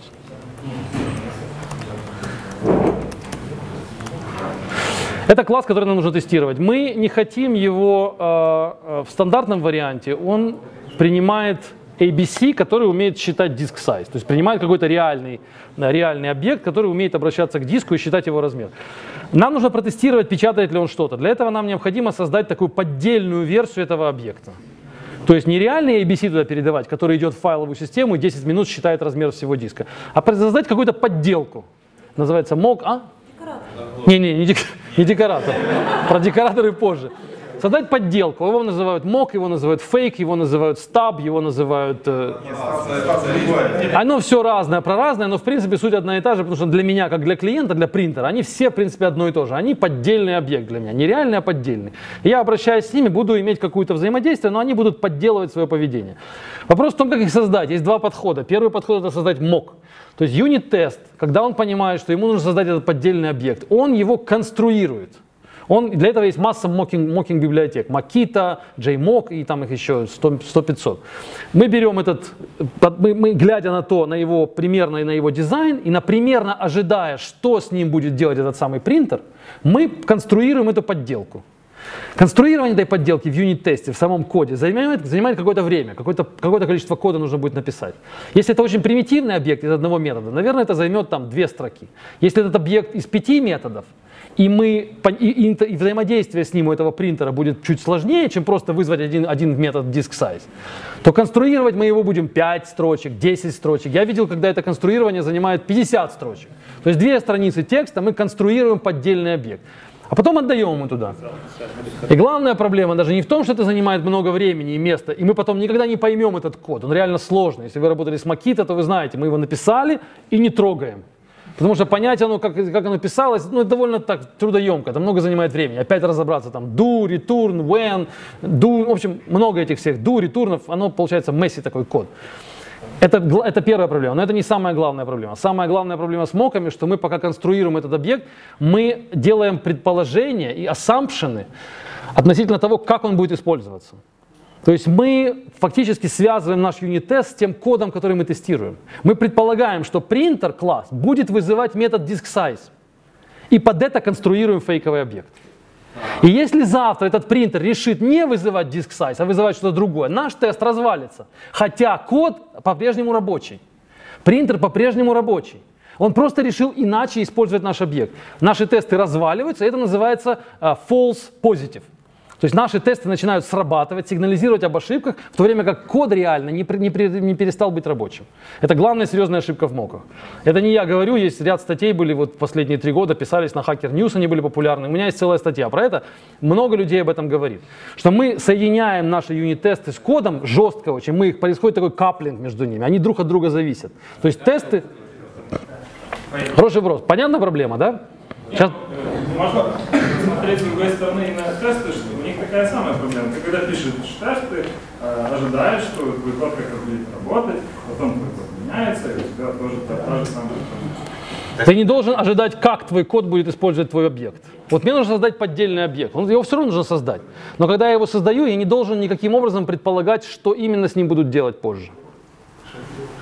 Как только я сделал эти предположения, как только я решил, вот смотрите, давайте напишем две строки, это очень несложно. Для того, чтобы мне создать этот объект ABC с Makita вместе, мне придется сделать примерно такой код. Мне нужно будет сделать uh, ABC, ABC равняется uh, Makita, mock, ABC класс. Мы создали mock, но этого мало, потому что disk size ничего не будет возвращать, он будет возвращать... Что он будет возвращать? Null, все правильно. Что мы делаем? Здесь мы пишем Makita, do, return, какой-нибудь там, я не знаю, 1, 2, 3, when, abc, э, disk size. Вот две строки. В этих двух строчках мы сделали серьезную ошибку. Мы предположили, что дальше, когда мы вызовем new printer abc и назовем здесь print, мы предположили, что вот здесь, в этой строке, будет вызван именно disk size метод. Именно он. И это предположение делает нас связанными, делает нас прикрепленным к этому, э, к этому продакшн коду. И все. Если завтра здесь, например, например, предполагаем, меняется дизайн класса ABC. Меняется. И теперь он выглядит не как abc.diskSize, а как abc. DiskSize остается как метод. Есть такой метод, пусть будет. Но добавляется новый метод. Здесь называется size. Тест крэшится. Ну, не крэшится, потому что здесь он просто нул напечатает, но если бы мы реально ожидали, так сказать, работу, то он крэшится, потому что сайз возвращает нул. А list size возвращает то, что мы ожидали, 1, 2, 3. Все, крэш развалил, тест развалился. Это пришел к нам сигнал, что ваш, а я, допустим, пишу код. Я вот программист, я открыл и пишу себе такой, там, ну, у меня там, там 600 тестов у меня. И я открываю, я не хочу с 600, я только пришел в проект. Я не хочу 600 тестов трогать. Я предполагаю, что если я запускаю build, он чистый, то я начинаю менять, запускаю еще раз, он опять чистый, я commit, я свободен. Так сказать, ну, нормальная практика программирования. Тесты для меня являются таким, так называемый safety net. То есть это такая сеть, которая меня держит. Я понимаю, что если я падаю, меня тесты поддержат. Если у меня 600 тестов сейчас проходят, я поменял 3-4 файла. А? Coverage, якщо ну, якщо написаний на сьогодні написаний тест, то він не буде coverage. Ну, coverage я должен прям смотреть, что у меня стопроцентный coverage, у меня же не стопроцентно покрыт. На цей клас, наприклад, якщо ви Ми змінили клас, тест, не буде на нього. Не, ну я, просто- я расскажу, как обычно это происходит. Я открываю, я запускаю build, все проходит, я меняю там, там, там, так под задачу. Мне пришел там тикет, поправь, поправь, поправь. Я поправил, поправил, поправил, запускаю, все те же 600 тестов проходят, закоммитил, забыл. Все. Ну, может, добавил еще пару тестов для того, чтобы, так сказать, под то, что я поменял. А тут я открываю, поменял, поменял, поменял, запускаю 600 тестов, один валится. Я думаю, стоп, что я, что я, ну, где я ошибся? Я написал size, но он работает, size считает. И причем тест не мной написанный. Какой-то тест, там, 139 написанный полтора года назад, и он валится. Хорошо, если он такой примитивный, да, что я открыл, а там вот этот мок, и я там посмотрел, а, ну да, диск сайз. в жизни компромисс. Чтобы иметь этот safety net, ты должен писать вот, тесты, которые проверяют всю иерархию. Ты как бы получаешь как бы hit you back in the face, типа ответку, типа, что в некоторых случаях ты имеешь какой-то Конечно, но моки, моки ситуацию ухудшают. Моки ситуацию ухудшают. Конечно, нужны компромиссы, нужно стараться, да, ты правильно говоришь, стараться покрывать как можно шире, делать больше интеграционных тестов, все правильно. Но моки эту ситуацию ухудшают, потому что они делают нам вот эти сложные такие фейковые поддельные объекты, их конструирование сложное и, и привязанное к продакшн коду, оно только maintainability ухудшает. Альтернатива какая? Правильная альтернатива, на мой взгляд, это иметь в своем арсенале вместе с продакшн кодом еще и фейк код. То есть, чтобы не было макита мок, а чтобы было вот так. ABC, ABC равняется new fake ABC. То есть нам нужно, чтобы поставщики класса ABC давали нам и реально работающий код, и фейковый объект вместе. Два. Как у тебя в интерфейсе дефолтная какая-то. Ну, как, может быть, я не знаю насчет интерфейса дефолта, но Розробники міняють клас ABC, вони ще й мають не забути. да, а они не смогут не забыть, потому что оно должно скомпилироваться у них вместе. У них оно должно... с- А чи воно, воно може і скомпілюватися, тому що ми з метода забираємо якісь ще виклик, Но они это сделают... ABC забуде, то воно скомпілиться. Но это будет один раз проблема. У них они должны заботиться об этом. А мы все будем себя хорошо... Все, перерыв.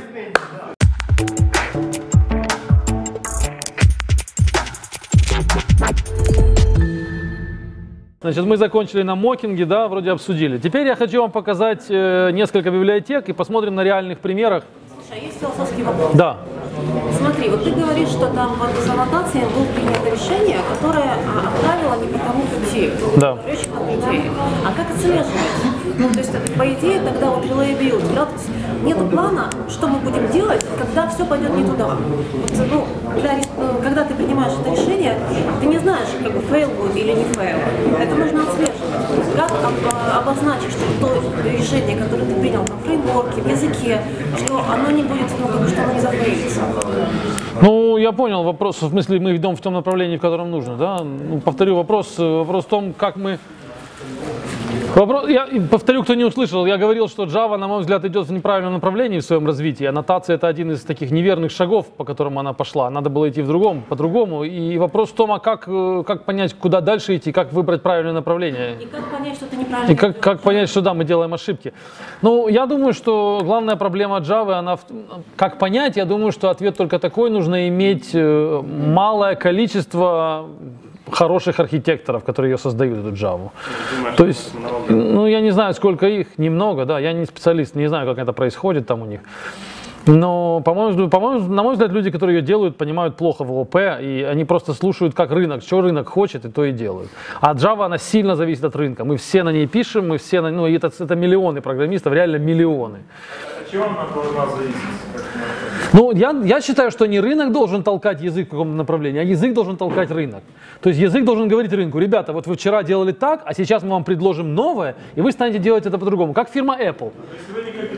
То есть не, не просто вот вы все, ну с теми же айфонами, этот пример, который избитый уже, но тем не менее. Вместо того, чтобы, да, все пользуются там Nokia, давайте мы сделаем, ну там, пойдем в том же направлении и последуем за Nokia. Нет, давайте мы скажем, ребята, вы все неправы или вы все неэффективны, а теперь мы вам дадим решение. Может быть, мы проиграем, может быть, никому это решение будет не нужно, но мы его дадим, мы, по крайней мере, попробуем. А Java ничего не пробует. Она вот всех говорят, давайте будем там делать эти аннотации, давайте предложим в Java, внесем функциональное, псевдофункциональное программирование. Ну, они его и сделали, эти лямбды, стримы. То есть просто слушают, чего рынок говорит, и за ним идут. На мой взгляд, это неправильно. Что мы называем правильно? То есть то, что э, нам э, дешевле стоит в разработке, то, что нам, э, я не знаю, правильность. Это субъективное понятие, мне кажется. Ну, должна быть, я, хороший, хороший вопрос, да, но я думаю, что важна стройность концепции. То есть, допустим, в языке Lisp концепция, концепция стройная. Там лежит внутри него функциональное программирование, такая глубокая идея математическая, на которой, из которой выпрыгнуть в сторону невозможно. А ООП, оно никакое не математическое, ну, на мой взгляд. Оно такое, ну, в нем нет стройной какой-то под ним математической основы. Это просто, просто что-то, что раньше называлось C, потом мы к нему добавили какие-то какие классы, назвали их объектами, ну, и оно продолжает как-то работать. Поэтому отсутствие чего-то стройной такой модели, стройной концепции приводит к тому, что мы имеем просто, чтобы работало. Видишь, где C и где Lisp. Да, безусловно, Java супер популярна, Lisp, он там, ну, не знаю, там проценты рынка, наверное, какие проценты? Доли процента используют Lisp, и там десятки процентов используют Java. Ну да, все так, понятно, но давайте тогда думать, что нам интереснее, вот присутствующих в этой комнате. Просто идти за рынком и делать то, что делают все, и, и кодить за еду, или мы хотим как-то м, как-то менять это дело? Интересно эффективно решать. Да, и мне то же самое, и мне то же самое. Я вам покажу, ну не знаю, посмотрите на код, который вот, ну, вам не понравилась эта лесенка, которую я вам показывал, но посмотрите еще на код, который у меня в проектах. Очень много на гитхабе в open source, много очень. В моем аккаунте, посмотрите, там, ну, десяток проектов, которые рабочие, на них можно посмотреть, они в, в жизни. Это совершенно другой код, не такой, как этот в этом спрингее, в этих. У меня интересная история. Я вот недавно ваш твит увидел там про новую либу для Динамо Эфир. Да. Вот, зашел на страничку и понял, какая-то знакомая страничка. И оказалось, что я ваш Мэ- Maven плагин уже два года использую Динамо Зефир. Ну, Вот, и это было открытие. То есть приятно. Ну вот я хотел как раз эту библиотеку сегодня показать, только после одной, которую сначала покажу. Значит, сейчас несколько библиотек покажу, которые могут вам быть полезны, но я их покажу не с целью рекламы, а с целью посмотреть, как я их сделал два года назад и как бы я их сделал по-другому сейчас. И вот и посмотрим, правильно ли я мыслю. Значит, библиотека такая, первая, которую посмотрим, она называется э, HTTP JCabe. Ага.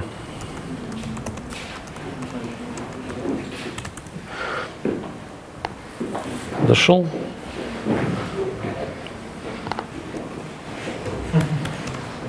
Немного рекламы. Значит, а, это HTTP клиент. То есть это клиент, который, ну понятно, что он делает. Нам нужно обратиться куда-то по HTTP, забрать оттуда. Что такое HTTP, все знают, да? Хорошо. Хороший протокол. А? Хороший протокол. Хороший протокол, да. Это, я, это был вопрос. Ну, у меня к нему нет больших претензий. Нет больших претензий. Я, ну так, протокол и протокол. А, Хотя я знаю, что претензии у людей есть, но я в этом не спец, это не моя а, сфера, поэтому я использую все. Значит, э, я был недоволен, это стартовал я эту библиотеку, ну, года два с половиной, может, три назад. Я был недоволен Apache клиентом, вы знаете, популярная да, библиотека, которая Apache клиент, который делает то же самое. Не Apache клиентом, не там еще несколькими библиотеками, поэтому я сделал свою, которая работает следующим образом. А, Она г- Я перепрошую, а можна буде теж сказати, власне, відповідь, чому Watch Client, Jetty Client? Да, я скажу, да. Я більше Да, первая главная причина в том, что у них, э, ну, мне казалось, что это не объектно, они мыслят не объектно, и дизайн у них не объектный. Э, насколько я, опять же, не суперспециалист в Apache клиенте, но, по-моему, он работает так. Сначала нужно создать з- э, клиента, потом нужно создать объект запрос, потом нужно сконфигурировать клиента, а потом этот запрос туда впхнуть, чтобы он вернул результат. Да? Как-то так. У нас имеется два объекта, и мне это кажется неправильным, мне, мне, мне неудобно с этими двумя работать, потому что если я строю какой-то новый объект, который называется, ну, например, там, ну, я не знаю, вот у меня есть страница, к примеру, и на ней я могу достать э, курс валюты, да, я могу взять HTTP запрос и получить там в JSON курс валюты. Теперь мне нужен, я не хочу работать с запрос-ответ, у меня в, в коде нужно работать с курсом. То есть у меня есть класс, который называется rate. Вот этот рейд, значит, и вопрос, ну, он, этот рейд, у него, к нему у него есть метод, которого мы спрашиваем и говорим, там, не знаю, integer, верни там цифру, какой у тебя рейд. И я, получа- получается, я должен в него внутрь инкапсулировать, ну, что, как он будет реализовывать это? Он будет сделать new Apache client, new этот клиент, вернее, new клиент, потом new этот get запрос, потом их соединять, получать и возвращать. Если я хочу делать dependency injection, если я хочу сделать так, чтобы он не шел во время тестирования в сеть, то мне нужно что, два этих инкапсулировать в него, два фейковых, два поддельных этих объекта, два мокать. То есть совершенно неудобно, короче. То есть неудобно работать с этим Apache клиентом, потому что он в чистом виде процедурный. Он просто кусок кода, который называется клиент, он там, наверное, вот такой величины, и к нему эти разные реквесты туда засовываются. Поэтому мне хотелось, чтобы это был один объект, который я могу передать куда-то, и тот, кому я его передал, мог сказать, а теперь дай там мне что там у тебя. Он возвращает, и, соответственно, результат получается. И я хотел, чтобы он был immutable, чтобы он был немутабельный. То есть если я передал кому-то этот, э, так сказать, запрос, ну, на эту страницу, то есть на какую-то точку входа, то ее никто не мог менять, она вот такая есть. А Apache Client, он еще immutable. То есть у него там эти сеттеры, сеттеры, сеттеры, то есть я могу этот клиент кому-то передать, он там эти сеттеры повызывает, и я даже передам это кому-то другому, уже переконфигурированный он будет. Это тоже очень неудобно. То есть я хотел, чтобы это были immutable объекты, не мутабельные. Что такое immutable, все знают, да? Разницу immutable, mutable. То есть я хотел, чтобы он был immutable, я хотел, чтобы он был простой, поэтому он выглядит у меня примерно таким образом. Сейчас мы его запустим и посмотрим, как он работает. Uh, мы все удаляем. Ну, например, так он работает. JDK request.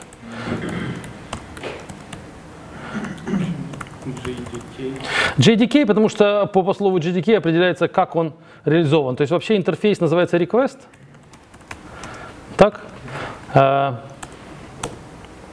Uh, Request, а JDK request это его реализация, которая э, основана на нативных JDK э, функциях.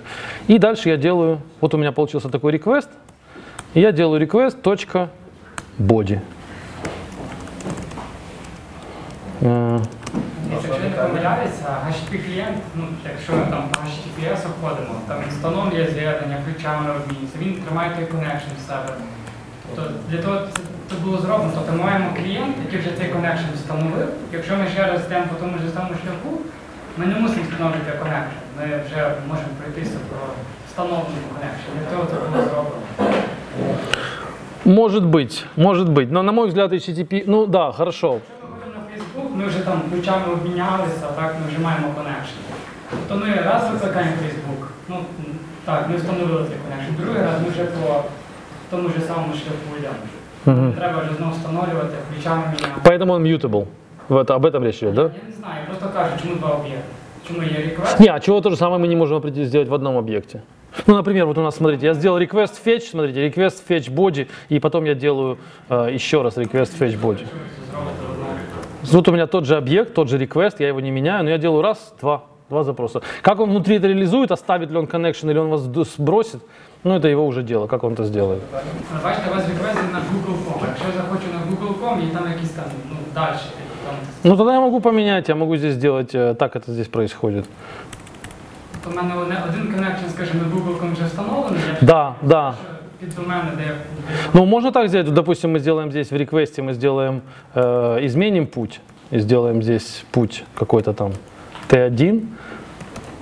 то есть он все равно, это видите, мы все равно работаем с, э, с immutable объектом. Здесь этот request, он один у нас, потом мы забираем из него URI, потом мы меняем путь, и потом возвращаемся назад. И вот здесь у нас получается новый, вот это все вместе, результат этого, вот этого, этой строки, это новый request.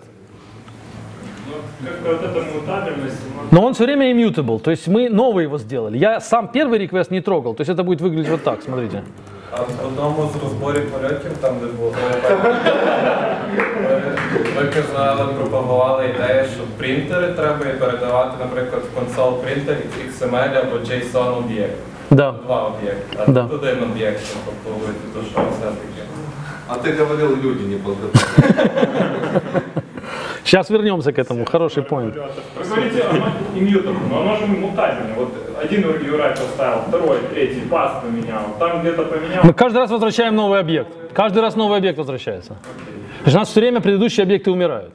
Вот у нас есть первый объект request, да, а из него мы делаем, вот здесь мы сделали новый объект request. Мы можем сделать еще там их таких много. Вот, и он его возвращает этот body, и мы его можем вывести какой-нибудь там body 1. Ну, вот как-то так. И он получится, наверное, сейчас посмотрим, что он сделает. Я прям здесь могу вызвать, здесь нет никаких аннотаций, поэтому... Ага, тут что-то у нас не... А, Нет зависимости одной сейчас.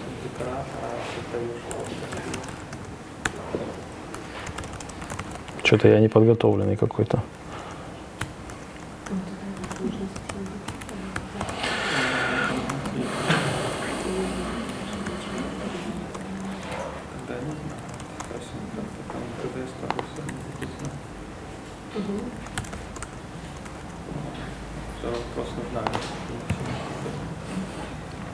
Да что ж такое?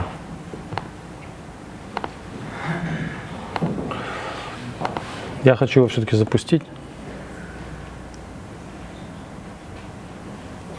У нас есть интернет, да? А чего он завис? Не знаю, честное слово. Э, давайте попробуем. Аннотацию темы. Аннотацию. Отличная мысль, кстати, да.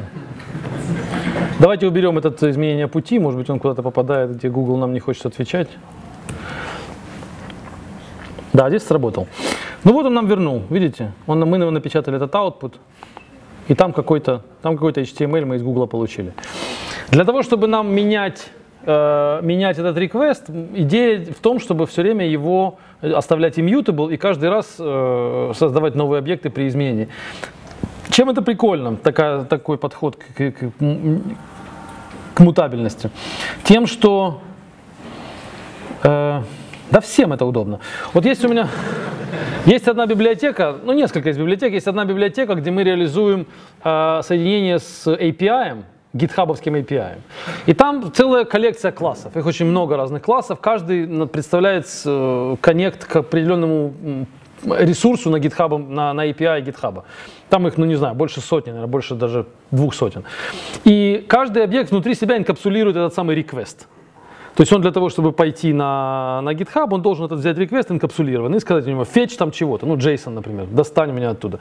И, э, и из объекта в объект мы можем переходить. То есть если мы, допустим, получили объект, называющийся репозиторий, то потом мы берем оттуда объект, называющийся issue, а из него берем объект, называющийся comment. То есть они вот так вот в глубину вкладываются. Из репозитория у нас есть э, issue, то есть, ну, так сказать, тикет в GitHub, и потом из него comment. И они один в другой создают, и нужно каждый раз передавать этот инкапсулированный реквест вглубь себя, вглубь, вглубь, вглубь.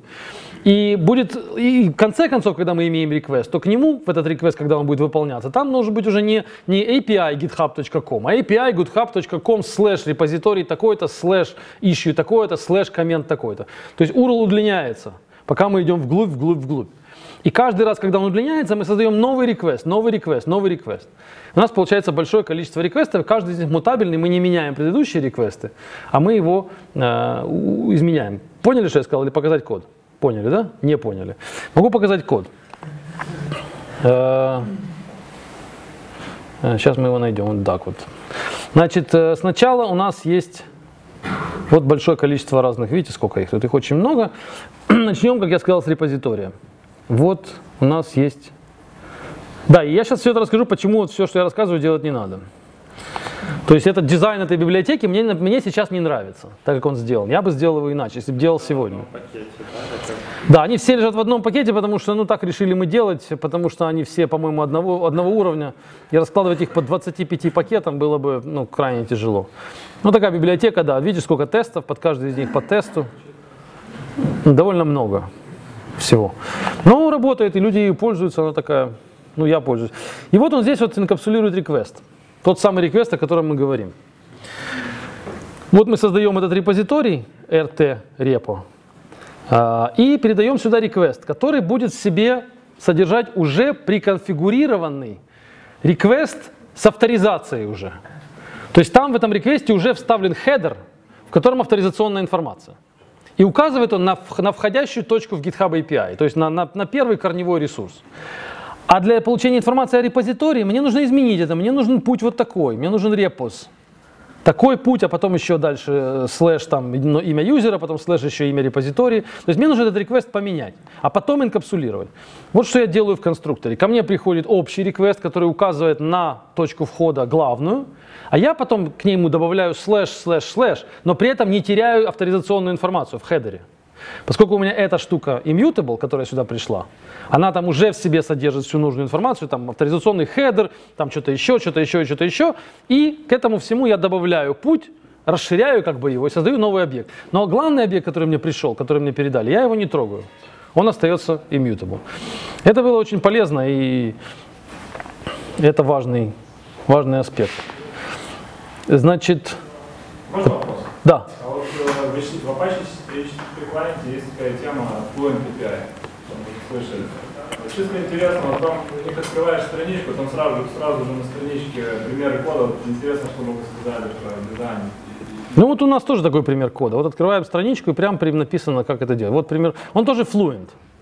Он тоже Fluent API. То есть Fluent API, знаете, что такое, да? Это когда точка, точка, точка. Вот это Fluent API называется. Это тоже, по-моему, Фаулер придумал такой термин.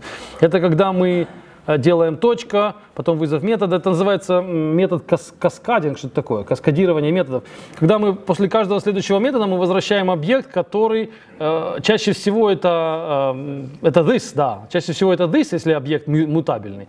Но в нашем случае это каждый раз создается новый объект, новый, новый, новый. То есть каждый из них вот здесь вот. Вот я вызвал хедер, допустим, добавил новый хедер, и, и э, результат работы этого метода хедер это будет новый request. Предыдущий реквест остается нетронутым, возвращается новый реквест, новый реквест. При каждом вы, вот, вот, вот при вызове всех этих методов, вот здесь, этих десяток их, наверное, будет 10 объектов создано на лету. Следующий, следующий, следующий, следующий. И мне интересен только последний, конечный. Поэтому тоже пример есть, он вот так вот работает. В общем-то, это удобно. В общем-то, это удобно. Но неправильно, на мой взгляд. Я бы сделал это иначе и лучше. Используя Декораторы. Используя декораторы, да. А, какие, какая, какая здесь мысль? Что здесь может, что здесь не нравится? Я не знаю, будет ли у вас, подумаете ли в этом направлении или нет. Кто-то может предложить лучший дизайн. И какая здесь проблема с этим дизайном? Ко мне билдер сюда хочется добавить. Ну, это и есть фактически билдер. Но он возвращает контроль другой объект. Ну, ну нет, возврат другого объекта в билдерах тоже может такое быть. Билдер не обязательно возвращает. Билдер не обязательно... Э, билдер может быть мутабельный, может быть не мутабельный. Билдер, ну, они билдеры разные бывают. Поэтому это, это очень похоже на билдер, да. Главная проблема в дизайне этого всего, как я сейчас вижу, э, в том, что он внутри сложный. То есть количество методов на объект, оно довольно большое. Вот если мы посмотрим на объект JDK request какой-нибудь, даже просто request, то вот этот объект э, тип request, это я сейчас в библиотеку смотрю, в нем раз, два, три, четыре, пять, шесть, семь, восемь, девять, десять, од- одиннадцать методов. Это супер много для, для одного объекта. Супер много. То есть должно быть вообще 3, но максимум 4 это уже потолок, на мой взгляд, в правильно, в правильно созданном объекте. И расширять эту библиотеку, как показывает практика, становится все, все сложнее и сложнее. То есть, когда добавляются новые функционалы, вот, например, недавно, там где-то год назад, э, к нам ну, был, был запрос там, через GitHub, люди просили сделать э, так, чтобы можно было э, определять тайм-аут при их соединении. Вот мы добавили такой метод. То есть, если раньше можно было там, указать, какой будет хедер у нас в HTTP запросе, какой будет метод, какой у нас будет там body и все, то они говорят, нам нужно еще, еще и тайм-аут определять. Вот, ну, там какие-то цифры по тайм-ауту. И, ну, мы добавили еще один метод. Если завтра кто-то захочет что-то еще, а наверняка захотят, нам нужно будет добавлять еще один метод. То есть нам постоянно нужно расширять один тип. Тип начинает расти по размеру, по величине. Это та проблема, в общем-то, которую решает правильный ООП и правильные эти декораторы. Это чтобы, чтобы метод не рос в размере. Поэтому я бы сделал это иначе сейчас. Я вам сейчас покажу как, а вы мне скажете, что вы думаете об этом. То есть вместо вот такого кода, который, допустим, давайте сейчас полностью код напишем, чтобы было видно, что я хочу сказать. Допустим, я хочу дать header там content type, например, там текст, XM, э, текст э, plain. Я, допустим, хочу дать метод э, get, ну, хорошо, post, и я хочу, допустим, его сконфигурировать на, э, ну да, на путь какой-то. Вот так. И потом я хочу сделать фетч. Фетч и потом body.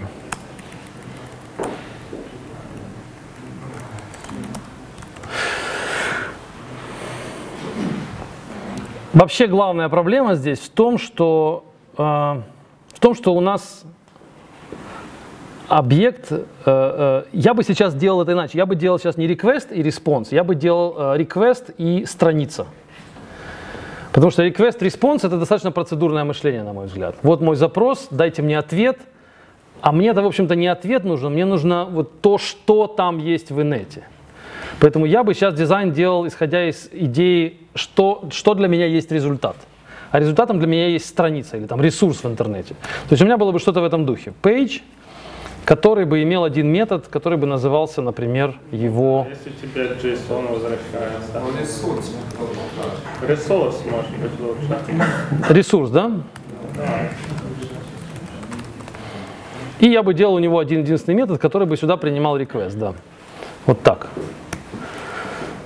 Дальше возникает вопрос, как мне сделать э, так, чтобы э, у него э,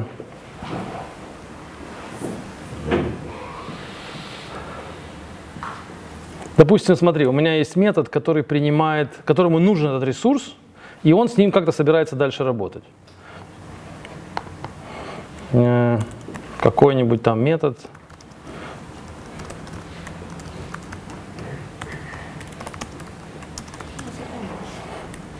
И он здесь внутри сделает fetch, так?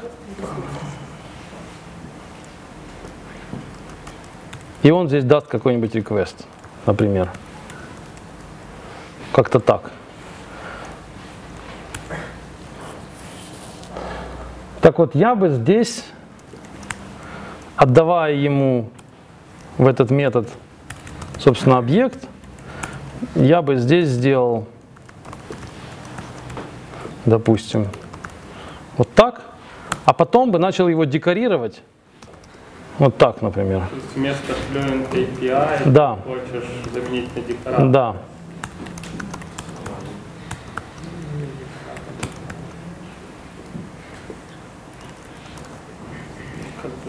Вот в предыдущее оно лучше смотрится, чем Да, я понимаю.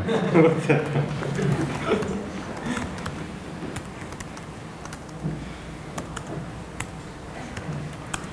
То есть тут ты не видишь сложных, ну как, по отступам понимаешь, для чего, кто, какие параметры передаются, да и то тебе нужно глазами туда-сюда бегать.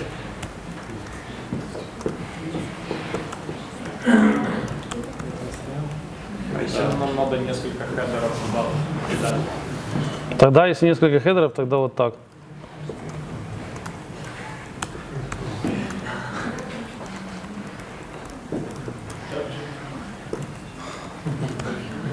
Оставь как есть. библиотеку.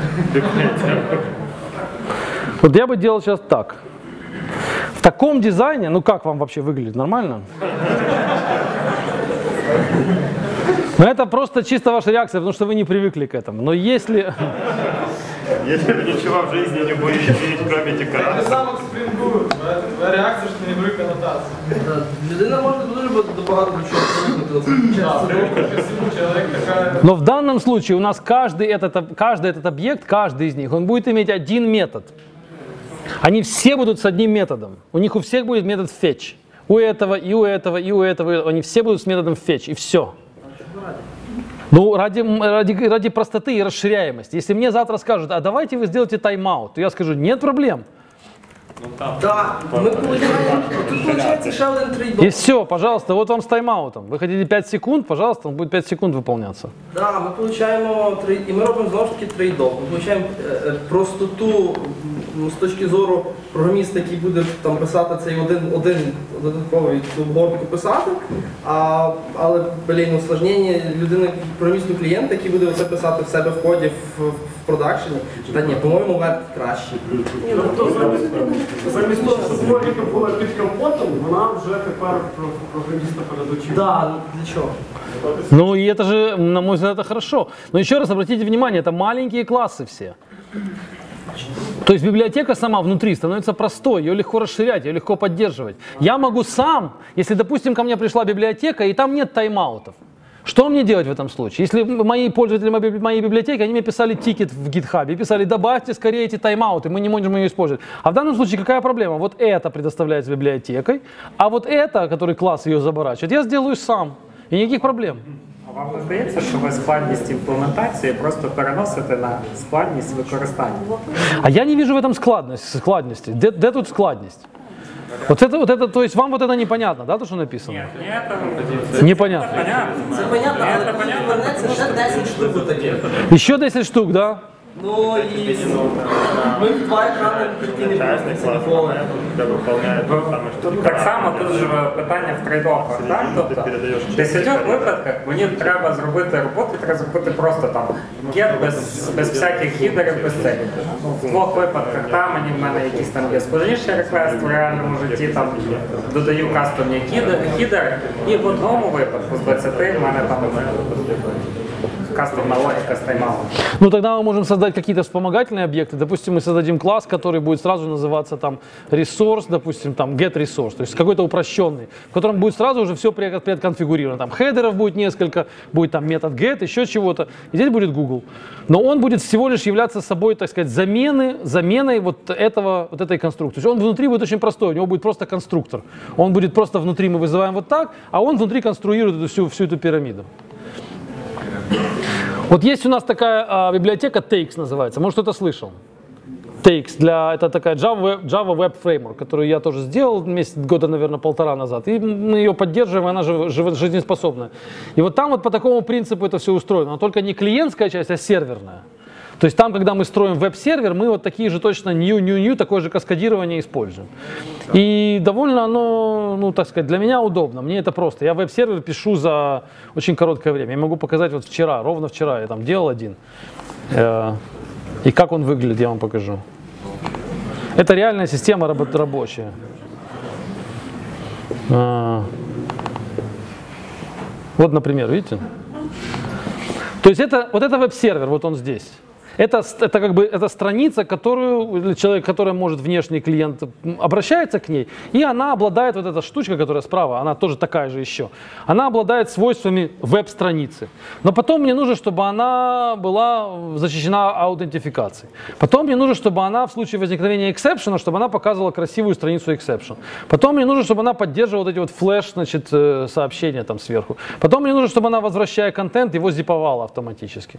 Потом мне нужно, чтобы она добавляла еще один хедер, в котором бы писала, сколько времени занял этот запрос.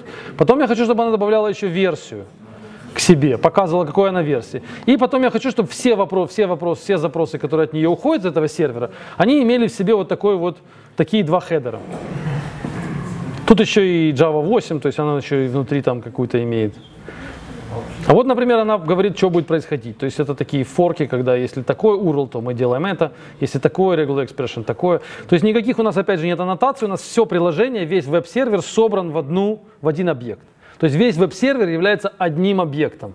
У нас получается не стандартный, стандартный посыл какой? У Spring и всех других веб-фреймворков. У них на первое место ставится сама, сам контент, сама страница, то есть ну, сами, сами методы или там функции, объекты, в которых мы строим, а, строим контент. А в нашем же случае мы на первое место ставим, собственно, сам сервер. То есть создание приложения начинается с создания сервера. Вот так он запускается, я сейчас покажу. Здесь мы запускаем сервер. Вот это, вот эта одна строка, это фактически запу- запуск, за- запуск веб-сервера. То есть мы передаем сюда вот этот TK App. Это упрощенно, я могу создать этот веб-сервер прямо сейчас. Давайте возьмем его здесь. Сейчас вам покажу, как мы на лету сделаем веб-сервер. Так, я это сейчас удалю пока. Вот смотрите, мы сейчас из одной строки сделаем веб- веб- веб-систему.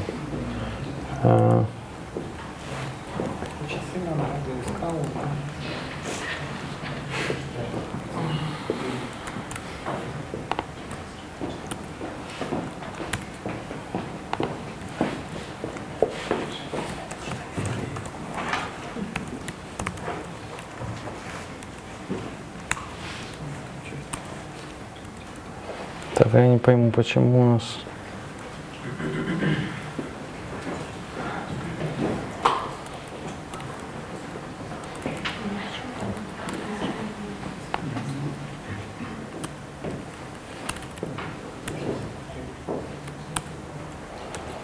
Вот так у нас будет выглядеть веб-сервер.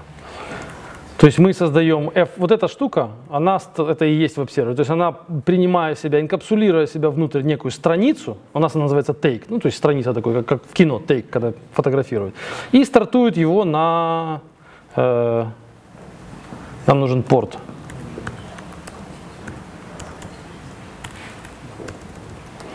Вот так мы его, по идее, запустим.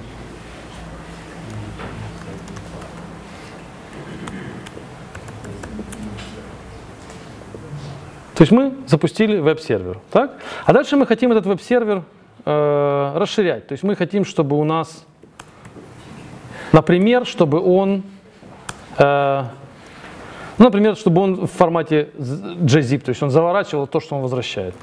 И мы делаем, ну, это встроенный такой класс, который у нас есть. То есть мы идем от центральной точки входа вглубь, декорируя, декорируя наш, наш контент, собственно. То есть наш контент вот он. А дальше мы хотим, чтобы он был в JZip.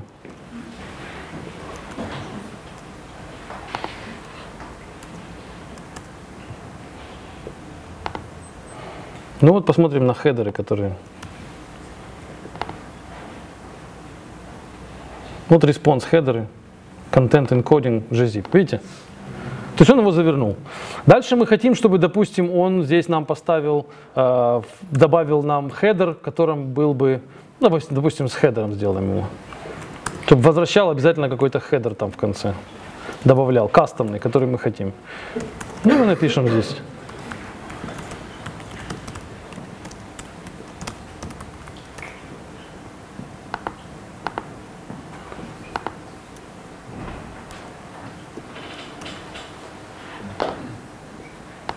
Видите? Все оно передо мной, как бы перед глазами. Нет никаких, никакого мэджика нет. Я все время контролирую, я декорирую контент и делаю его просто более умным, более сложным, более, э, более насыщенным. Я функционал добавляю поверху, поверху, поверху, поверху, поверху основного функционала. Самый базовый функционал у меня очень примитивный. Этот класс TkText, он, как, все классы в нашей библиотеке, он примитивный по величине. Он имеет один всего метод, он в этом случае вообще одни конструкторы. То есть он имеет в себе крайне примитивный, это все его содержание. Он, он разные, в разные конструкторы принимает разный, э, разные конструкторы. Возвращает он респонс текст, который тоже примитивный. Вот он, это конструкторы, конструкторы, конструкторы. И, то есть это крайне, крайне простые маленькие классы, состоящие в основном из одних конструкторов. Да. Можна якийсь більш такий приклад цікавіший, скажімо, із реального життя? От можна, скажімо, можете зараз дати basic аутентифікацію до, до вашої сторінки. Як, як Да, конечно. Це такий більш більш реальний приклад.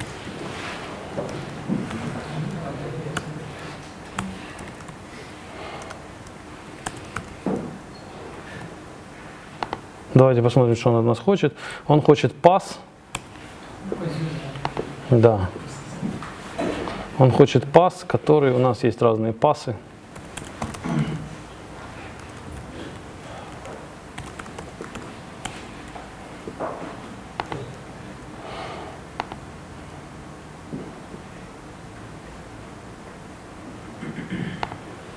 Я, не, не, я не помню, как это делается, но оно несложно, по идее.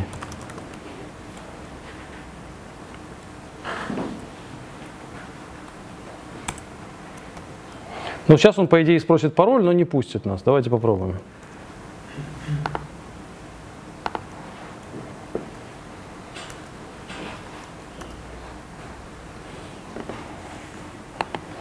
Ага, он возвращает forward, надо еще одну завернуть.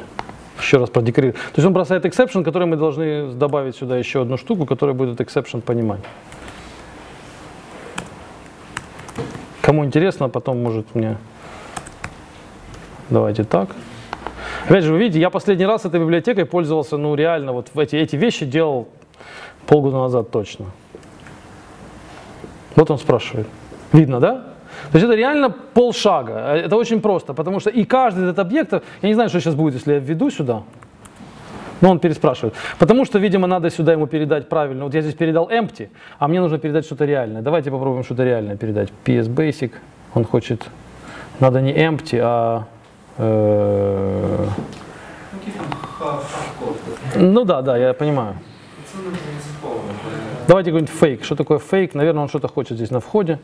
Давайте посмотрим fake, boolean condition. А, это он по... Нет, нам нужен не fake, а empty, default, наверное. Default. Нет. А, вот, default и users, да. Мы должны передать users.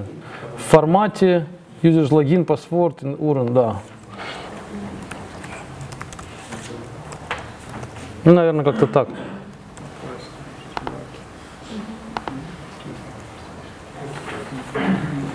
One of users was incorrectly formatted, да? Хорошо.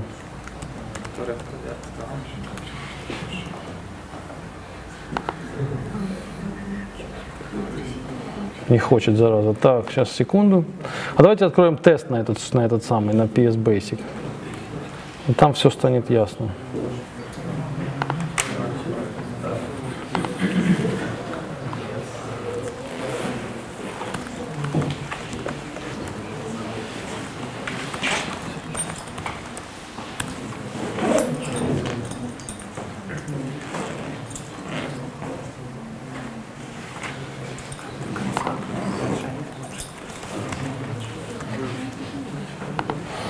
вот как-то так должно быть это выглядеть.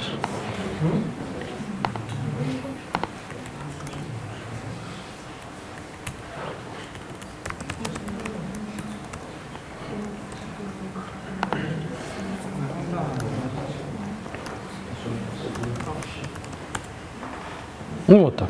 Понятно, да? А ще таке питання. А це веб фреймворк, так? Він про що він? Він підтримує GSP, підтримує, ну, вони можуть сказати звичайну сторінку, можна написати API. Правильно? Что угодно, да. Все, что через HTTP. Використовується в продакшені. Да, да. Мы пользуемся и под API его, и под, э, и под даже юнит-тесты. Мы даже, когда у нас есть ряд библиот-проектов, в которых у нас есть реквесты, то есть мы аж отсылаем, допустим, куда-то через какой- на какой-то, на какой-то сервер, шлем запросы. И мы должны сделать подделку этого сервиса. Как это сделать? И вот мы для этого сами берем вот эту библиотеку, она, вы видите, насколько она примитивная, ну, насколько она ее легко строит. То есть я могу вот в 50 строчках построить, поднять реально веб-сервер на каком-то порту. Он поднимается, дальше запускаю юнит-тесты, они отрабатывают, и мы его тушим. То есть он легко поднимаемый, легко конфигурируемый. Это реально полноценный веб-сервер, который с аутентификацией, с хедерами, с зипом, ну, с, с этим же зипом, все-все-все, все целиком. Полностью. И мы его используем для юнит-тестов активно, потому что нам так удобно оказалось. Есть масса библиотек для фейковых серверов, ну, знаете, их, для HTTP, но это делает это все значительно проще. А що там під капотом? Что там? Что? Нет, там все, там только plain Java, никаких библиотек. Это все написано, там реально Java очень мало, библиотека очень маленькая. Там это она делает то же самое, на мой взгляд, как и Spring. Ну, конечно, Spring он больше и шире, но эта библиотека реально маленькая, в ней там 300 классов всего, каждый класс не больше 100 строк, и все целиком это чистый plain Java. Там, там на самом деле писать на этот, этот веб-сервер, все поднятие веб-сервера, можете ее посмотреть, оно занимает там, ну это, не знаю, ну это совсем чуть-чуть. Ну вот там треды, оно все на потоках работает, многопоточно. То есть весь функционал. Но его реально этот веб-сервер поднимать, это там 40 строчек кода. Все остальное это, это завернутый, в де- декорированный, декорированный, декорированный контент. В этом идея ООП, что мы все время берем, берем, мы все время де- действуем, мы все время работаем с объектами. Объект для нас что-то, а дальше мы это что-то заворачиваем, заворачиваем в новый функционал, в новый новый функционал. Почему вы решили не использовать, например, Jetty? Я использовал, я работал с Jetty. В этом, в этом фреймворке? А мне не нужно там, зачем мне, я могу это сам написать, говорю, 40 строчек кода. Зачем мне нужен Jetty, да, в чем здесь фишка? Там реально это просто, на Java написать веб-сервер, это ну, задача для, какой дипломной работы? Для практическое занятие, 45 минут. Ну сколько он пишется? Мы можем сейчас с вами его написать за 10 минут. Подняли, открыли, сокет открыли, поймали сокет, прочитать HTTP протокол, ну это еще там 50, ну не знаю, там две страницы текста. HTTP протокол уже примитивный. И все. Но есть, конечно, вопросы там более сложные. Например, передача формы, когда идет майм кодирование, оно довольно сложное. Там нужно эти, из майма эти выдирать там куски, оно может быть очень большим, там могут быть терабайты этого контента. Но это у нас заняло какое-то время, да, мы писали там, там код посложнее. А базовый HTTP, пришел запрос, отдал запрос, он очень несложный. И когда его можно, когда эту всю проблему можно разбить на такие слои, которые декораторами являются, этих слоев там, ну вы видели в коде, там их может быть, ну там 20, 30, 40, наслаивается, наслаивается, наслаивается, и каждый слой он очень тонкий. И в каждом слое можно нажать мышкой, открыть и посмотреть, что в этом слое находится. И когда там видно, это в этом слое всего 20 строчек кода, то получается декомпозиция всей проблемы становится ну, на другой уровень понимания она выходит. Не такой, как в спринге. Я, когда, я спрингом иногда пытаюсь пользоваться, но это какой-то кошмар. Я ну, боюсь к нему подойти. То есть он реально держит меня за дурака. То есть я должен, вот он мне дает только вот там вот узкое такое вот, я должен туда и там вот кодировать. Он мне не, не показывает, что происходит. Я должен вот именно как, как обезьянка по, по инструкции, по мануалу вот поставить, поставить, поставить, запустить, заработало. Как оно заработало, чего оно заработало, ну это только знает Женя Борисов. А я не знаю.